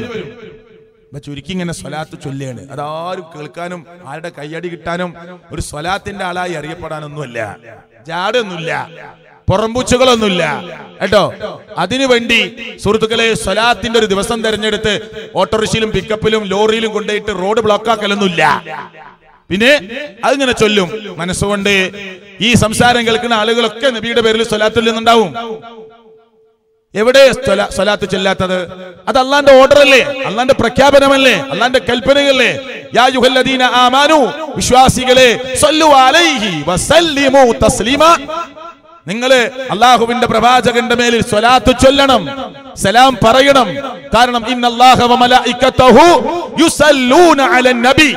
അള്ളാന്റെ റസൂലിന്റെ പേരിൽ റസൂലുള്ളാന്റെ മേൽ അള്ളയും അള്ളാഹുവിന്റെ പ്രവാചകനും അനുഗ്രഹം ചൊരിഞ്ഞുകൊണ്ടിരിക്കുകയാണ്. അതുകൊണ്ട് മുക്മിനിങ്ങളെ നിങ്ങൾ സ്വലാത്ത് ചൊല്ലണം സലാം പറയണം എന്നതാ ഖുറാനിന്റെ ഓർഡർ. കൽപ്പനയാണ്. ഇതിൽ നിന്ന് വിരമിക്കാൻ പറ്റൂ മാറിക്കാൻ പറ്റൂ. അതിനെ കേട്ടില്ല നടിക്കാൻ പറ്റുമോ സ്വലാത്ത് ചൊല്ലിയാണ് വേണ്ടത്. പക്ഷെ ഉണ്ടാക്കി ഒരു സ്വലാത്ത് നമ്മൾ ഉണ്ടാക്കേണ്ട ആവശ്യമില്ല ഉണ്ടാക്കാനും പാടില്ല. നാരിയ സ്വലാത്ത്. അള്ളാൻ റസൂൽ എടുപ്പിച്ച സ്വലാത്ത? ഈ സ്വലാത്തിനെ എതിർക്കുമ്പോ ഞാൻ ഒരു വിഷയങ്ങളെ നിങ്ങളുടെ മനസ്സിലേക്ക് കൊണ്ടുവരാനത് പറയുന്നത്? അല്ലേ? ഒരു സ്വലാത്തിനെ എതിർക്കുമ്പോ ശരിക്കുള്ള സ്വലാത്ത് വേണമെന്നും കെട്ടിച്ചമച്ചുണ്ടാക്കുന്ന സ്വലാത്ത് ചെയ്യരുത് എന്ന് പറയുമ്പോ അത് ചൂഷണങ്ങൾക്ക് വേണ്ടിയിട്ടാണ് എല്ലാവർക്കും അറിയുന്ന അതീശുലൊക്കെ വന്ന സ്വലാത്ത്. അത് നിങ്ങൾ എല്ലാവരും ചൊല്ലിക്കോ എന്ന് പറഞ്ഞാൽ റോൾ കഴിഞ്ഞു. പിന്നെ പണ്ഡിതന്മാർക്ക് പ്രത്യേക റോളില്ല.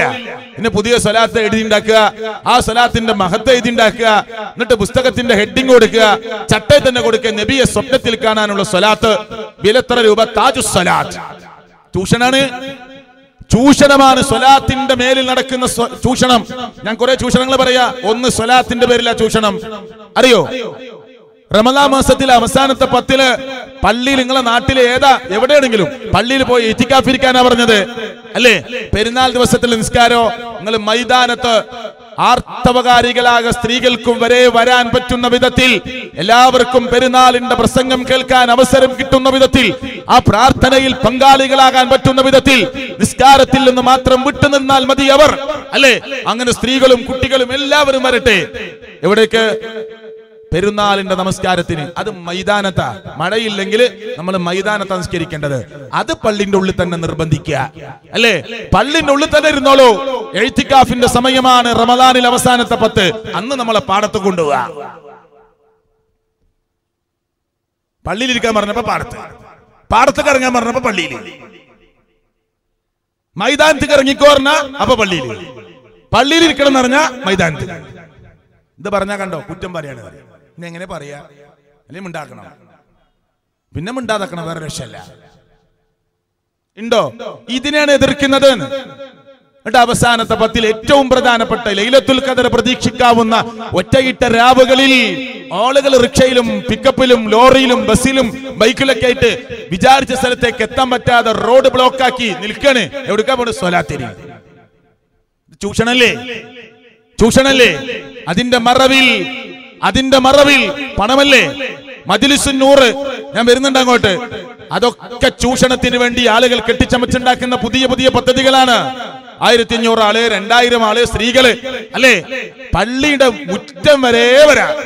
പള്ളിന്റെ ചുമര് വരെ മുട്ടി കസേരട. അവിടെ കയറി രണ്ടിറക്കാത്ത് പടച്ചോന്റെ മാർഗത്തിൽ സുജൂത ഇത് നിസ്കരിച്ച ഫിത്തിന. പള്ളിന്റെ ചുമരിൽ ബാക്കിലും മുന്നിലും സൈഡിലും കസാരട്ടിരിക്കാം ബെഞ്ചിട്ടിരിക്കാം ഒരു പ്രശ്നമല്ല ഇതൊക്കെ ആര് പറഞ്ഞു കൊടുക്കും? ഇതൊക്കെ ആര് പറഞ്ഞു കൊടുക്കും?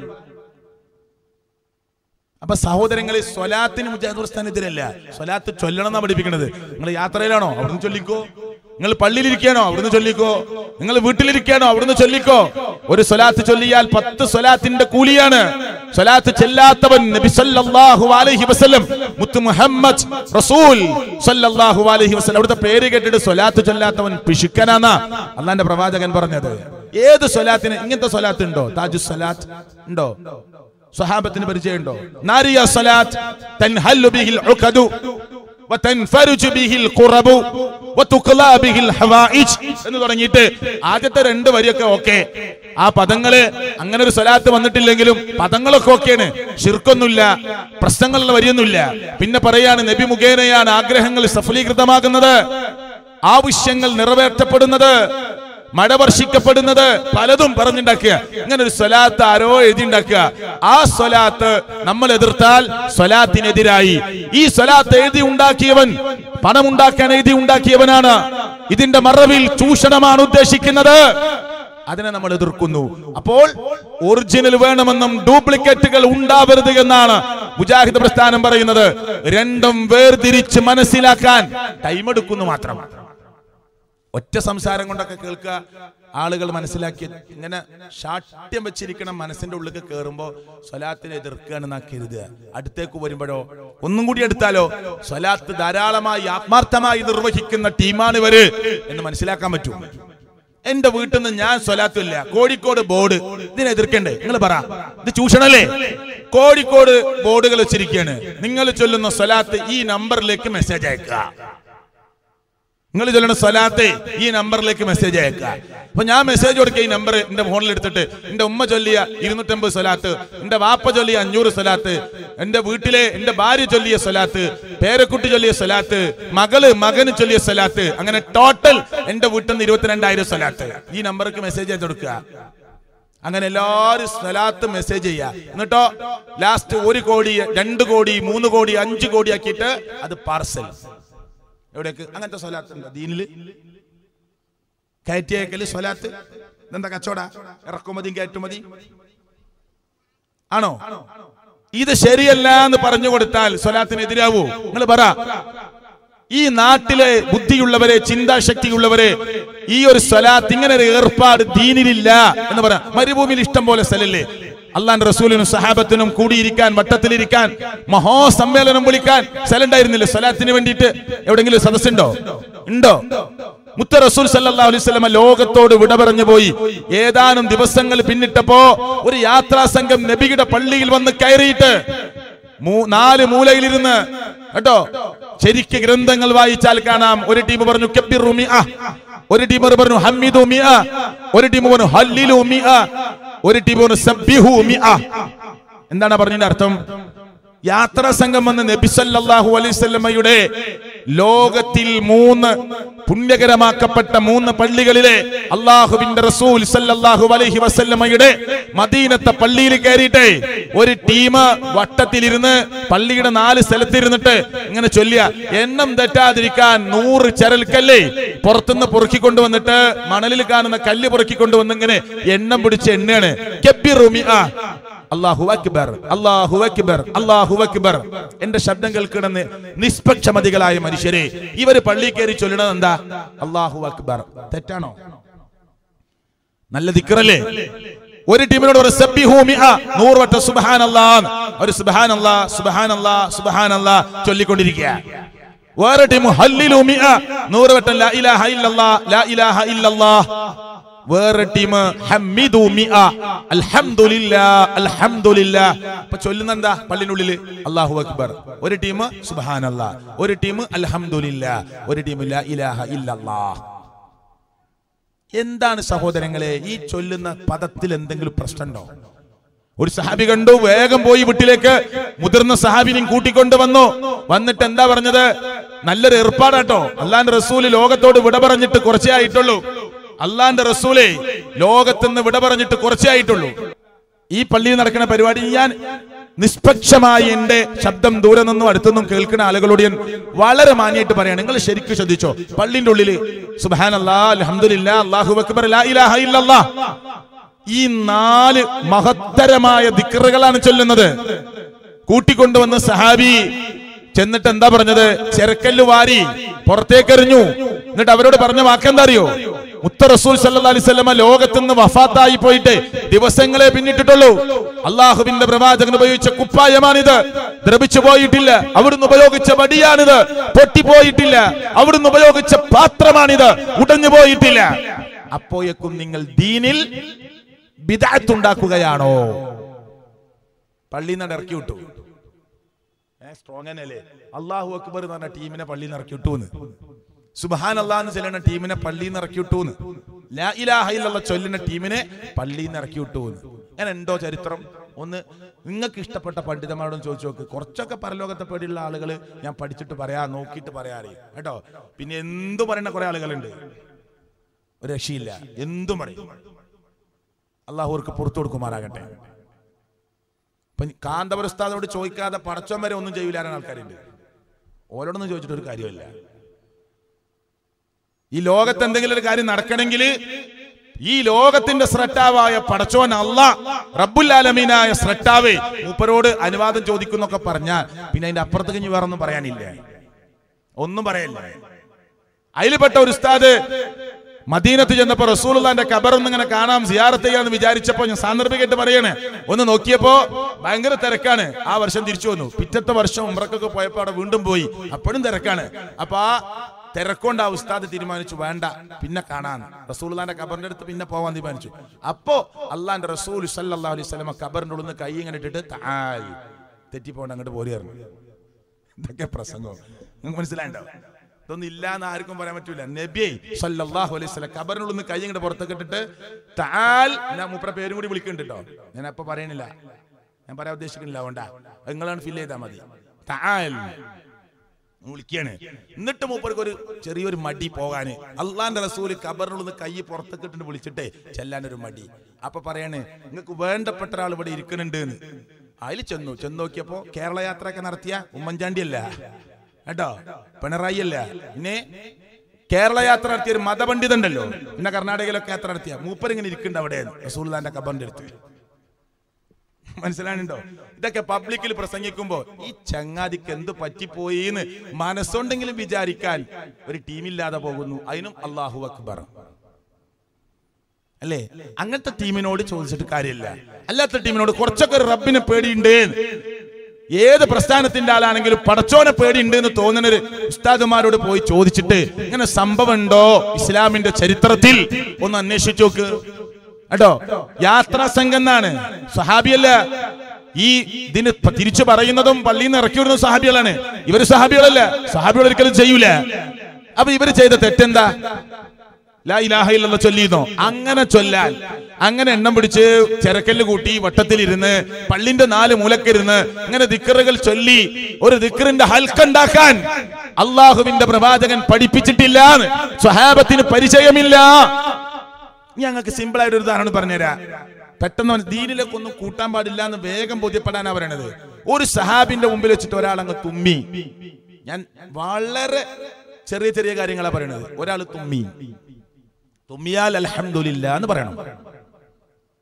ഈ തുമ്മിയ മനുഷ്യൻ അലഹമില്ല എന്ന് പറഞ്ഞാൽ കേട്ടാൾ തിരിച്ചു പ്രാർത്ഥിക്കണം. അല്ലേ?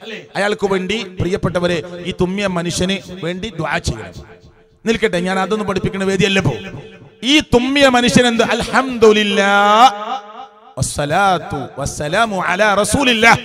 നബിയുടെ പേരിൽ ഒരു സ്വലാത്ത് സലാമു പറഞ്ഞു. സഹാബിയാളെ കൈക്കുടിച്ചു ചോദിച്ചു എന്താ ചൊല്ലിയതെന്ന്? ചോദിച്ചു. ഞാൻ തുമ്മിയപ്പ അൽഹംദുലില്ലാ എന്ന് പറഞ്ഞു. പിന്നെ ചൊല്ലിയത് എന്താ നബിയുടെ പേരിൽ ഒരു സ്വലാത്ത് ഒരു സലാം അങ്ങനെ അള്ളാന്റെ റസൂൽ പഠിപ്പിച്ചിട്ടുണ്ടോ എന്ന് ചോദിച്ചു. ഞങ്ങളാരും കേട്ടിട്ടില്ല. നീ കേട്ടിട്ടുണ്ടോ എന്ന് അതാ ചോദ്യം. കേട്ടിട്ടുണ്ടോ അള്ളാന്റെ റസൂൽ പഠിപ്പിച്ച സഹാബികൾ ആരെങ്കിലും പറഞ്ഞത്? ആരെങ്കിലും ഉദ്ധരിച്ചു വന്നത് കേട്ടിട്ടുണ്ടോ?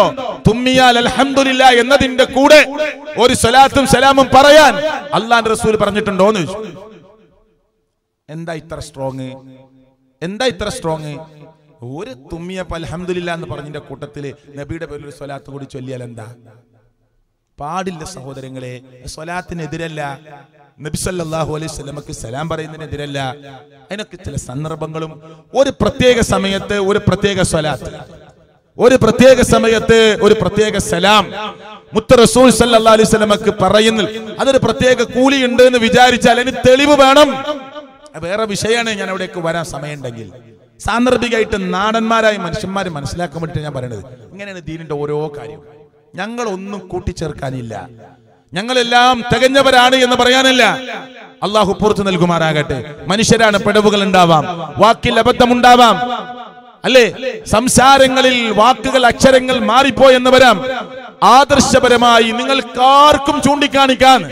ഇന്നത് തെറ്റാണ്. ഖുറാൻ കൊണ്ട് ശരിയല്ല ഹദീസ് കൊണ്ട് ശരിയല്ല. തിരുത്താൻ ഏത് നല്ല മനുഷ്യനും തയ്യാറാവണം. എന്നാൽ സുഹൃത്തുക്കളെ ഒന്ന് തിരിച്ച് അങ്ങോട്ട് ചിന്തിച്ചോക്ക്. എവിടെയും ചൂഷണാണ്. എവിടെയും ചൂഷണം. ഇപ്പൊ യാത്ര. ഞാൻ ഒരു ഉദാഹരണം പറയാം. യാത്ര. യാത്ര പോകുന്നവൻ പ്രാർത്ഥിക്കേണ്ട പ്രാർത്ഥന ഉണ്ട് അത് മുസ്ലിങ്ങൾക്കൊക്കെ പഠിപ്പിച്ചു കൊടുക്കുക. എന്നാ പിന്നെ ഉസ്താദന്മാർക്ക് പ്രത്യേക റോളില്ല ആ വീട്ടിൽ? ഇപ്പൊ ദാ ഗൾഫ് പോവുകയാണ് ഒരാൾ. എന്നാ അവിടെ ചെന്നിട്ട് പോവാം. യാത്ര അയക്കാം യാത്രക്കാരനെ കാണാൻ പോവാം. ഒരു പ്രശ്നമല്ല എന്നാ അവിടെ എല്ലാവരും കൂടെ ഇരിക്കുക. അൽഫാത്തിഹ. അപ്പൊ ഫാത്തിഹ സുഹൃത്ത് ഞാനിത് കുറ്റപ്പെടുത്താൻ വേണ്ടി പറയല്ലേ? പിന്നെ സൂറത്തിൽ ഹലാസ് സൂറത്തുൽ ഫലക് സുറത്തിൽ നാസ്. അങ്ങനെ ഓരോ സൂറത്തുകൾ ഓതി. എന്നിട്ട് എല്ലാവരും ഇങ്ങനെ പ്രത്യേക ഒരു ഒരു പ്രത്യേക ശൈലി. അല്ലേ? അപ്പോ ഉസ്താദന്മാർക്കും പണ്ഡിതന്മാർക്കും മൗലവിമാർക്കും റോൾ ഉണ്ടായി ആ റോൾ എന്തിനാ? അല്ലാതെ എല്ലാവർക്കും യാത്ര പോകുമ്പോഴുള്ള പ്രാർത്ഥന എല്ലാവർക്കും അറിയാ. വാഹനത്തിൽ കയറുമ്പോഴുള്ള പ്രാർത്ഥന അറിയാം. അതൊക്കെ പഠിപ്പിച്ചു കൊടുത്ത റോൾ തീർന്നു. പിന്നെ ഒരു പ്രത്യേക റോൾ ഉണ്ടെങ്കിലേ അവിടെ ഒരു കൈമടക്ക് വാങ്ങുന്ന ചൂഷണത്തിന് പണ്ഡിതന്മാർക്ക് വകുപ്പുള്ളൂ. അല്ലേ? മരിച്ചു ഒരാൾ. ഞാൻ ചുരുക്കി ചുരുക്കി ഇങ്ങനെ പറയണേ. ഒരാൾ മരിച്ചു. മരണത്തിന്റെ കാര്യം ഇനിയും പറയാനുണ്ട്. ഖബറിന്റെ അടുത്ത് എല്ലാവരും നിന്ന് അള്ളാഹുമ്മ സബ്ബിതഹു ഇൻദ സുആൽ. اللهم ألهمه الجباب اللهم جاف القبر عن جنبيه اللهم اغفر له وارحمه اللهم آمنه من كل الفزع ഇതെല്ലാരും പഠിപ്പിച്ചു കൊടുത്തു അത് വ്യത്യസ്തമായ അതീസിൽ നിന്ന് തസ്ബീത്തിനെ ചോദിക്കണം ഖബർ വിശാലമായി കിട്ടാൻ വേണ്ടി ചോദിക്കണം സ്ഥൈര്യത്തിന് വേണ്ടി ചോദിക്കണം എല്ലാം കൂടി കൂട്ടി പണ്ഡിത ലോകം ഉണ്ടാക്കിയ ഒരു തസ്ബീത്തിന്റെ രൂപം. അല്ലേ? ലോകം അംഗീകരിക്കപ്പെടുന്ന തസ്ബീത്തിന്റെ രൂപം. തർക്കല്ലല്ലോ ഇല്ല. മുമ്പ് ഉണ്ടായിരുന്നോ ഞാൻ കരുവാരകുണ്ടിലെ മനുഷ്യരോട് ചോദിക്കുകയാണ് ഒരു ഇരുപത് കൊല്ലം മുമ്പ് നിങ്ങളെ നാട്ടിൽ നിങ്ങളെ വല്ലിപ്പ മരിച്ചപ്പോ ഈ തസ്ബീത്ത് ചെല്ലുന്ന രീതി ഉണ്ടോ എന്റെ നാട്ടിലൊന്നുമില്ല. എന്റെ വല്ലിപ്പ മരിച്ചപ്പോ എന്റെ വല്ലിമ്മ മരിച്ചപ്പോഴൊന്നും ഞാൻ സമസ്തയുടെ മഹലിൽ അവിടെയാണ് ഖബർസ്ഥാനുള്ളത് അന്ന് ഞങ്ങളുടെ കുടുംബക്കാരൊക്കെ സമസ്തക്കാരാണ്. അതുകൊണ്ട് അങ്ങനെ തസ്ബീത്ത് ഞങ്ങൾ ആരും കേട്ടിട്ടില്ല. കേട്ടിട്ടില്ല അങ്ങനെ ശൈലിയില്ല. പിന്നെ കുറെ കാലങ്ങൾക്ക് ശേഷം ഒരു ഉസ്താദ് ഞങ്ങളുടെ നാട്ടിൽ ഒരു പേപ്പറിൽ എഴുതിക്കൊണ്ട് കൊണ്ടുവന്ന് ഒരു തസ്ബീത്ത് ആദ്യമായി ചെല്ലുന്നത് ഞാൻ ഓർക്കുന്നു. മുമ്പ് അതില്ല. പിന്നെ എന്താ ഉള്ളത്? ഈ തസ്ബീത്ത് എല്ലാവരും കൂട്ടായിട്ട് ചൊല്ലിയാണ് ഒരാൾ ചൊല്ലിക്കൊടുക്കുക ബാക്കിയുള്ള ഏറ്റു ചൊല്ലിയല്ല എല്ലാവരും ചൊല്ലുക. എല്ലാവരും ചൊല്ലുക കുറച്ച് സമയം. ആ കബറിലെ മൂടുകല്ല് വെച്ച് മണ്ണ് വാരിയിട്ട് നമ്മൾ എല്ലാവരും ചൊല്ലിയാണ് പ്രിയപ്പെട്ടവര് ഇങ്ങനെ കുറച്ച് സമയം ചൊല്ലി നമ്മൾ എല്ലാവരും പോവുക. പിന്നെന്താ പ്രത്യേക റോൾ അവിടെ? ഒരു ഉസ്താദിന് എന്താ പ്രത്യേക റോൾ? എല്ലാവരും പ്രാർത്ഥിക്കണം. ഉസ്താദിന് പ്രത്യേകിച്ച് പ്രാർത്ഥിക്കാം. ആത്മാർത്ഥമുള്ള മനുഷ്യനാണ് അഞ്ചു നേരം നിസ്കരിക്കുന്ന ആളാണ് പള്ളിയിൽ ഇമാമാണ് പടച്ചോനെ കൂടുതൽ പേടി ഉണ്ടാവേണ്ട ആളാണ്. അയാൾ ദാ എല്ലാവരും തസ്ബീത്ത് ചൊല്ലിയപ്പോ നിർത്തിയപ്പോ രണ്ടെണ്ണം കൂടി ഏറെ ചെല്ല. അല്ലേ? എന്താ പ്രശ്നം? അയാൾക്ക് ഒറ്റയ്ക്ക് രണ്ടെണ്ണം കൂടി ഏറെ ചെല്ല. ഒരു പ്രശ്നമല്ല അവിടുന്ന് പോയിട്ട് പള്ളിയിൽ ഇരുന്ന് നിസ്കാരം കഴിഞ്ഞിട്ട് ഈ മരിച്ചു കിടക്കുന്ന മനുഷ്യന് വേണ്ടി എല്ലാവരും പ്രാർത്ഥിക്കുന്നതിനേക്കാൾ ഒരു നാല് മിനിറ്റ് അധികം പ്രാർത്ഥിക്കാം. ഒരു പ്രശ്നമല്ല മയ്യത്തിന്റെ തലയുടെ ഭാഗത്ത് ഇരുന്ന് രണ്ട് മലക്കുകൾ ഇപ്പൊ വരും. കേട്ടോ? പേടിക്കണ്ട. മൂപ്പര് പുറത്തല്ലേ? ഈ റോൾ തൽക്കീം ചൊല്ലിക്കൊടുക്കുക ഇങ്ങനെ റോൾ ഉണ്ടെങ്കിൽ ഉസ്താദിനോട് ഒരു പ്രത്യേക റോളുള്ളൂ. അതിന്റെ പേരിൽ ഒരു കൈമടക്ക് കിട്ടണമെങ്കിൽ എല്ലാവരും തസ്ബി തല്ലി പിരിഞ്ഞു പോയി. ഉസ്താദിന് പൈസ അങ്ങനെ വകുപ്പില്ല. എന്താണ്? മൂപ്പർക്ക് എന്താ പ്രത്യേക റോൾ അവിടെ ഉള്ളത്? ഇല്ല. അപ്പൊ നിസ്സാരമായ കാര്യങ്ങളിൽ വരെ കടത്തിക്കൂട്ടലുകൾ ഉണ്ടാക്കുന്നത് അവിടെ ഒരു പ്രത്യേക റോൾ ഉണ്ടാക്കണം. അവിടെ ഒരു പ്രത്യേകമായ സ്ഥാനം ഉണ്ടാക്കണം അത് നിർവഹിക്കാൻ നമ്മുടെ പള്ളിയിലെ കാതി വേണം നമ്മുടെ പള്ളിയിലെ ഉസ്താദ് വേണം നമ്മുടെ പള്ളി ദർശിലെ മുദരിസ് വേണം. അയാൾക്കൊരു പ്രത്യേക റോൾ. അത് നിർവഹിക്കുമ്പോ കൂട്ടുകുടുംബക്കാര് ഒന്ന് കാണും. വാപ്പ മരിച്ച ദിവസമാണ് എന്തായാലും ഒരു സങ്കടത്തിന്റെ ദിവസമാണ് ഒരു ദുഃഖത്തിന്റെ ദിവസമാണ്. അതുകൊണ്ട് എങ്ങനെയാണെങ്കിലും സുഹൃത്തുക്കളെ ഒരു ഗാന്ധി തലയൊന്നും മടക്കാതെ പോവില്ല അതുകൊണ്ട് അങ്ങനെ റോൾ കിട്ടണം. അറിയോ? അതിനെ തൽക്കീന്. അല്ലാതെ അള്ളാന്റെ റസൂൽ സഹാബത്ത് അവിടെ തലക്കുമ്പുറത്തിരുന്ന് ആരാ ചൊല്ലിക്കൊടുത്തത്? എത്ര സഹാബികളുടെ മരണത്തിൽ അള്ളാഹുവിന്റെ പ്രവാചകൻ സല്ലല്ലാഹു അലൈഹി വസല്ലമ പങ്കെടുത്തിട്ടുണ്ട്? ഖബറടക്കലിൽ പങ്കെടുത്തിട്ടുണ്ട്. അള്ളാഹുവിന്റെ പ്രവാചകൻ ഒരു സഹാബിയുടെ തലക്കുമ്പുറത്തിരുന്ന് ഖബറിന്റെ തലയുടെ ഭാഗത്തിരുന്ന് ഒരു പ്രാവശ്യം തൽക്കീൻ ചൊല്ലിക്കൊടുത്തത്. ഹദീസിന്റെ ഏത് ഗ്രന്ഥത്തിലുള്ളത് ബുഖാരിയിലുണ്ടോ? മുസ്ലിമിലുണ്ടോ? തുർമതിയിലുണ്ടോ ഇമാം ഇബിന് മാജ ഉദ്ധരിച്ചിട്ടുണ്ടോ? ഇമാം നസായി ഉദ്ധരിച്ചിട്ടുണ്ടോ? ഇമാം അഹ്മദ് റഹ്മത്തുള്ളാഹി അലൈഹി. ഈ മഹാരഥന്മാരായ ഏത് പണ്ഡിതന്മാരുടെ കിതാബുകളിലാ വന്നത്? എവിടെ വന്നത്? ഏത് അജീസിന്റെ ഗ്രന്ഥത്തിൽ? എവിടെയില്ല. സ്വഹിയായിട്ട് അവിടെ ഇല്ല അപ്പൊ അതൊരു പ്രത്യേക റോളാണ് ഇങ്ങനെ പരിശോധിച്ചോളൂ നിങ്ങളെല്ലാം. എല്ലാം പരിശോധിച്ചോ? മരിച്ച മയ്യത്തിന്റെ വീട്ടിക്ക് ചെല്ലുക. അവിടെ ജീവിച്ചിരിക്കുന്ന ആളുകളെ ആശ്വസിപ്പിക്കുക. മനസ്സിലായില്ലേ? മരിച്ചടക്കുന്നത് വാപ്പയാണ്. മക്കളെ സമാധാനപ്പെടുത്തുക. സാരല്ല. നമുക്കൊക്കെ മരിക്കണ്ടേ? നീ ക്ഷമിക്ക്. എന്തെങ്കിലും ഹൈർ അള്ളാഹ് നമുക്കറിയാത്ത ഹൈർ അള്ളാഹു കണ്ടിട്ടുണ്ടാവും. നിക്ഷമിക്കും ക്ഷമിക്ക്. ആശ്വാസത്തിന്റെ വാക്ക് പറയുക സ്ത്രീകൾ ആ മരിച്ചടക്കണ മനുഷ്യന്റെ ഭാര്യന്റെ അടുത്തേക്ക് ചെല്ലുക. ആ സമാധാനപ്പെടുത്തുക. അല്ലേ? ആ മയ്യത്തിനെ അനുഗമിക്കുക. മുന്നിലും പിന്നിലുമായി പോവുക. മയ്യത്ത് നിസ്കാരത്തെ പങ്കെടുക്കുക. ഖബറിന്റെ അടുത്തേക്ക് പോവുക. ഇറക്കി കൊടുക്കാനോ എന്തൊക്കെ ചെയ്യാൻ പറ്റും ഒക്കെ കൂടി കൊടുക്കുക. അവരൊന്ന് തസ്ബീത്ത് ചെല്ലുക. അല്ലേ? സുഹൃത്തുക്കളെ മയ്യത്തെടുത്ത് മുറ്റത്ത് വെച്ചിട്ട് അൽഫാത്തിഹ. അപ്പൊ നമ്മളൊക്കെ മാറിക്കുമ്പോൾ ആളുകൾ അറിയും കണ്ടോ? ചെയ്ത്തന്മാര് വൊഹോബികൾ ഫാത്തിയക്കെതിരാ ഇതാ നാടന്മാരെ സംസാരം. ഒരു ഫാത്തിയ സൂറത്തിനെതിരെ എതിരായി ചങ്ങാതിമാര് പറയാ. അപ്പൊ സാധാരണക്കാർ ഒന്നും പഠിക്കാത്ത മനുഷ്യന്മാര് ഫാത്തിയ സൂറത്തിനെതിരെ എതിരാട്ടവര്. ഇത് ചങ്ങാതിമാർക്ക് ചങ്ങാതിമാർക്ക് കൈമടക്കിട്ടാൻ പിടിച്ചിക്കാന് കേട്ടോ ഉണ്ടാക്കണ ഏർപ്പാടാ. എന്താ അൽഫാത്തിഹ അൽ ഫാത്തിഹ ഫാത്തിയ സൂറത്ത് ഓതാൻ അറിയാത്തല്ല മുസ്ലിങ്ങൾ? എന്താ ഒരു പ്രത്യേക അൽ ഫാത്തിഹ? ഇനി അള്ളാന്റെ റസൂൽ അങ്ങനെ പഠിപ്പിച്ചിട്ടുണ്ടെങ്കിലോ ഒരു പ്രശ്നമല്ല. നമ്മളെല്ലാരും ചൊല്ലണം. അപ്പൊ അവിടെ വെച്ചിട്ട് ഒരു പ്രത്യേക സൂറത്ത് സൂറത്ത് യാസീൻ. അല്ലേ? എന്നിട്ട് ഓതിക്കൊണ്ടിരിക്കുമ്പോൾ എന്താ പറയണത്. ഇത് ജീവിച്ചിരിക്കുന്നവർക്കുള്ള താക്കീത. യാസീൻ ഇങ്ങനെ ഓതി കൊടുക്കാൻ മരിച്ച ആളെടുത്തിരുന്നിട്ട്. അപ്പൊ പറയണേ ഞാൻ എന്നോട് പറഞ്ഞിട്ട് കാര്യമില്ല. ജീവിച്ചിരിക്കുമ്പോ താക്കീത് ചെയ്യേണ്ട കാര്യമാണ് ഇപ്പൊ എനിക്ക് ഓതി തരുന്നത് എന്നോട് പറഞ്ഞിട്ട് കാര്യമല്ല. ഇത് ജീവിച്ചിരിക്കുന്നവർക്കുള്ള താക്കീതാണ്. ഓ കള്ളം കുടിച്ച് നടന്നപ്പോ പറഞ്ഞു സുഹൃത്തുക്കളെ മദ്യപിച്ച് നടക്കുന്ന ഒരു സുഹൃത്തിനെ വിളിക്ക്. മോശപ്പെട്ട പ്രവർത്തനത്തിൽ നടക്കുന്ന ചങ്ങാതിനെ വിളിക്ക്. അറിയോ? ഞാൻ തിരൂര് ഭാഗത്ത് പോയി പ്രസംഗിച്ചു. ഒരു ചെറുപ്പക്കാരൻ മുന്നിക്ക് മുന്നിക്ക് മുന്നിക്ക് ഇങ്ങനെ വന്നു. ഞാൻ വിചാരിച്ചു കല്ലെടുത്തറിയാൻ വരികയാണ്. ഞാൻ അവന്റെ കൈമൊക്കെ നോക്കിയോരില്ല അങ്ങനെ അല്ല. ഉഷാറായിട്ട് ഇങ്ങനെ വരിക. ഞാൻ അങ്ങനെ പ്രകോപിപ്പിക്കുന്ന ഒരു വർത്താനം പറഞ്ഞിട്ടില്ല. പറയാറുമില്ല. നോ ഇങ്ങനെ അടുത്തേക്ക് അടുത്തേക്ക് വരും. ഓരോ പ്രസംഗത്തിൽ ഇഷ്ടപ്പെട്ടു ഇങ്ങനെ വന്നു. പ്രസംഗം കഴിഞ്ഞപ്പോൾ എന്റെ അടുത്ത് വന്ന് എന്നോട് പറഞ്ഞു നിങ്ങളെ സംസാരം ഇഷ്ടപ്പെട്ടു. ഞാൻ കള്ള് കുടിക്കണ ആളെ. ഒന്നും കുടിച്ചിട്ടില്ല. നിങ്ങളൊരു വാക്കിന്റെ മനസ്സ് തട്ടിക്കണേ.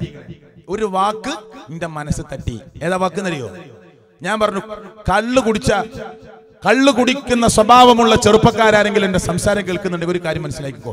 നീ ഹോട്ടലിൽ കയറിയിട്ട് കള്ളു കുടിച്ചതിന് ശേഷം ഒരു ബീഫ് നിന്ന് ഒരു ഭക്ഷണം കഴിച്ച് അരിച്ചാലിക്ക് മറിഞ്ഞു വീണ് റോട്ടിൽ മറിഞ്ഞു വീണ് നീ ഛർദിച്ചാൽ ആ മാംസം ദഹിച്ചിട്ടില്ല ഒക്കെ തുപ്പി പുറത്തുവന്നാലും ഒരു തെരുവ് പട്ടി ആ വക്കത്ത് നിന്ന് തെരുവ് പട്ടി. അതിങ്ങനെ വന്നിട്ട് നീ ഛർദിച്ചത് മണുത്തു നോക്കിയിട്ടേ. അത് വേഗം സ്ഥലം കാലിയാക്കും. തിന്നില്ല. കള്ളു കുടിച്ചവൻ ഛർദിച്ചതിൽ മാംസമുണ്ടെങ്കിൽ പോലും ഒരു പട്ടി പോലും തിന്നൂല. ഓൻ പറ എന്റെ വയറിനുള്ളിൽ ഒരു പട്ടിക്കും കൂടി പറ്റാത്ത സാധനം ഞാൻ കൊണ്ടെടുക്കണത്. എനിക്ക് മനസ്സിലായി. അവിടെ ഒരു വടിയെടുത്ത് ഞാൻ മുറിച്ചിട്ടുണ്ട് ഇനി ഞാൻ കുടിക്കൂലെന്ന് തീരുമാനിച്ചു. കേട്ടോ? പിന്നെ എന്റെ നമ്പറൊക്കെ വാങ്ങി. നാല് കൊല്ലം മുമ്പുള്ള സംഭവ. എന്നിട്ട് അയാൾ എന്നെ വിളിച്ചു. വിളിച്ചിട്ട് പറഞ്ഞു സ്ഥാതെ അന്ന് ഞാൻ പരിചയപ്പെട്ടില്ലേ? ഞാനൊരു കള്ളുകൂടിയനായിരുന്നു. പിന്നെ നന്നാവാൻ തീരുമാനിച്ചു എന്നൊക്കെ പറഞ്ഞ ആളാ വിളിക്കണത്. ഇപ്പൊ എനിക്ക് നിൽക്കാൻ പറ്റണില്ല എന്റെ വാപ്പാന്റെ അടുത്തേക്ക് പള്ളി ഉസ്താദ് വന്നു. ഞാൻ ഇപ്പൊ കള്ളുടി നിർത്തി ചീട്ടളി നിർത്തി എല്ലാ സ്വഭാവം നിർത്തി പള്ളിക്കൊക്കെ പോകാൻ തുടങ്ങി. ചിങ്ങളെ പ്രസംഗം കേട്ടോണ്ട് സെലഫി പള്ളിക്കാ പോണത്. ഉസ്താദിന്റെ വാപ്പാണ് ഓൻ പഴച്ചൂന്ന് മനസ്സിലായി ഉസ്താദ് മോനെ വാപ്പ വാപ്പാനോട് സുഹൃത്തുക്കളെ ഉസ്താദ് പറയാണ് വാപ്പ ഉസ്താദിനോട് പറയില്ല. ഉസ്താദ് വാപ്പാനോട് പറയാണ് നിങ്ങളെ മോൻ പഴിച്ചിട്ടോ. ഓൻ ഉസ്താദിനോട് പറഞ്ഞ വാക്കെന്താ അറിയോ? ഞാനേ രണ്ട് കാലിലല്ല വീട്ടിക്ക് പോലെ നാല് കാലിലാണ് അന്നൊന്നും ഞാൻ പഠിച്ചിട്ടില്ലെങ്കിൽ ഇപ്പൊ മര്യാദയ്ക്ക് നടക്കാനും മര്യാദയ്ക്ക് നിഷ്കരിക്കാനൊക്കെ തുടങ്ങിയ സമയത്താണ് ഞാൻ പഠിച്ചതെങ്കിൽ ഈ പഠിച്ച റൂട്ടിൽ പോകാനാ എന്റെ തീരുമാനം. ആർത്തത്തോടുകൂടി ആർച്ചവത്തോടുകൂടി പുരോഹിത വർഗത്തോട് മുഖത്ത് നോക്കി പറയാൻ ഏതൊരു സമുദായം ഉണർന്നു പ്രവർത്തിക്കാൻ റെഡിയുണ്ടോ? ആ കാലഘട്ടത്തിലെ വിപ്ലവം സൃഷ്ടിക്കുന്ന മാറ്റത്തിന് തുടക്കം കുറിക്കൂ. അറിയോ? നന്നവൻ സമ്മതിക്കാത്തത് എന്താ ഒരു വർഗത്തോടും വിഭാഗത്തോടുള്ള ദേഷ്യമല്ല. ഇതൊരു വർഗത്തോടും വിഭാഗത്തോടുള്ള ദേഷ്യമല്ല. ഈ ടീമിനെയും സമുദായത്തെയും നന്നാക്കാൻ എന്തുകൊണ്ട് തയ്യാറാകുന്നില്ല? പിടിച്ചു നിൽക്കാൻ കഴിയില്ല. അതാ പ്രശ്നം. പിടിച്ചു നിൽക്കാൻ കഴിയില്ല എന്ന്. ഞാൻ വെറുതെ പറയല്ല. വെള്ളിയാഴ്ച ജുമാക്ക് പാൻപരാഗ് തിന്നുന്നവൻ കള്ളു കുടിക്കുന്നവൻ ചീട്ട് കളിക്കുന്നവൻ പെണ്ണിനോട് അനാവശ്യം പറയുന്നവൻ ഹാൻസ് തിന്നുന്നവൻ ഗുടുക്ക തിന്നുന്നവൻ ലഹരി അടിക്കുന്നവൻ ഒക്കെ പള്ളി വരും. അപ്പൊ അവർക്ക് മനസ്സിലാകുന്ന ഭാഷയിൽ പറഞ്ഞു കൊടുക്ക്. ഇതൊന്നും പാടില്ല ഓലൊക്കെ പോയിട്ട് അറിയും എല്ലാരും പള്ളിയിൽ ഇരിക്കണം സാധാരണ വേദനൊക്കെ ഒരു നാലാളിരിക്കും മനസ്സിലാണ്ടോ ജുമാക്ക് മിണ്ടാതെ വർത്താനം പറയാതെ പുക വലിക്കാതെ സ്മോക്കിംഗ് നടത്താതെ മിണ്ടാതിരിക്കും. അന്ന് കുടിക്കാതെ ചീട്ടളിക്കാതെ വരും. ഓലോട് പറഞ്ഞു കൊടുക്ക് ഇതാ ദീനെന്ന്. പ്രവാചകന്റെ ഹുതുബ അങ്ങനെയായിരുന്നു. അല്ലേ? രണ്ട് ഹുതുബകൾക്കിടയിൽ ഇരിക്കും. ജനങ്ങളെ ഉത്ബോധിപ്പിക്കുകയാണ്. ഖുർആൻ. ഓതി. ജനങ്ങൾക്ക് ഉത്ബോധനം കൊടുക്കുക. മുഹമ്മദ് റസൂൽ സല്ലല്ലാഹു അലൈഹി വസല്ലമ. അത് ചെയ്തു കൊടുക്കുക എല്ലാവരും എന്നാ മാറ്റം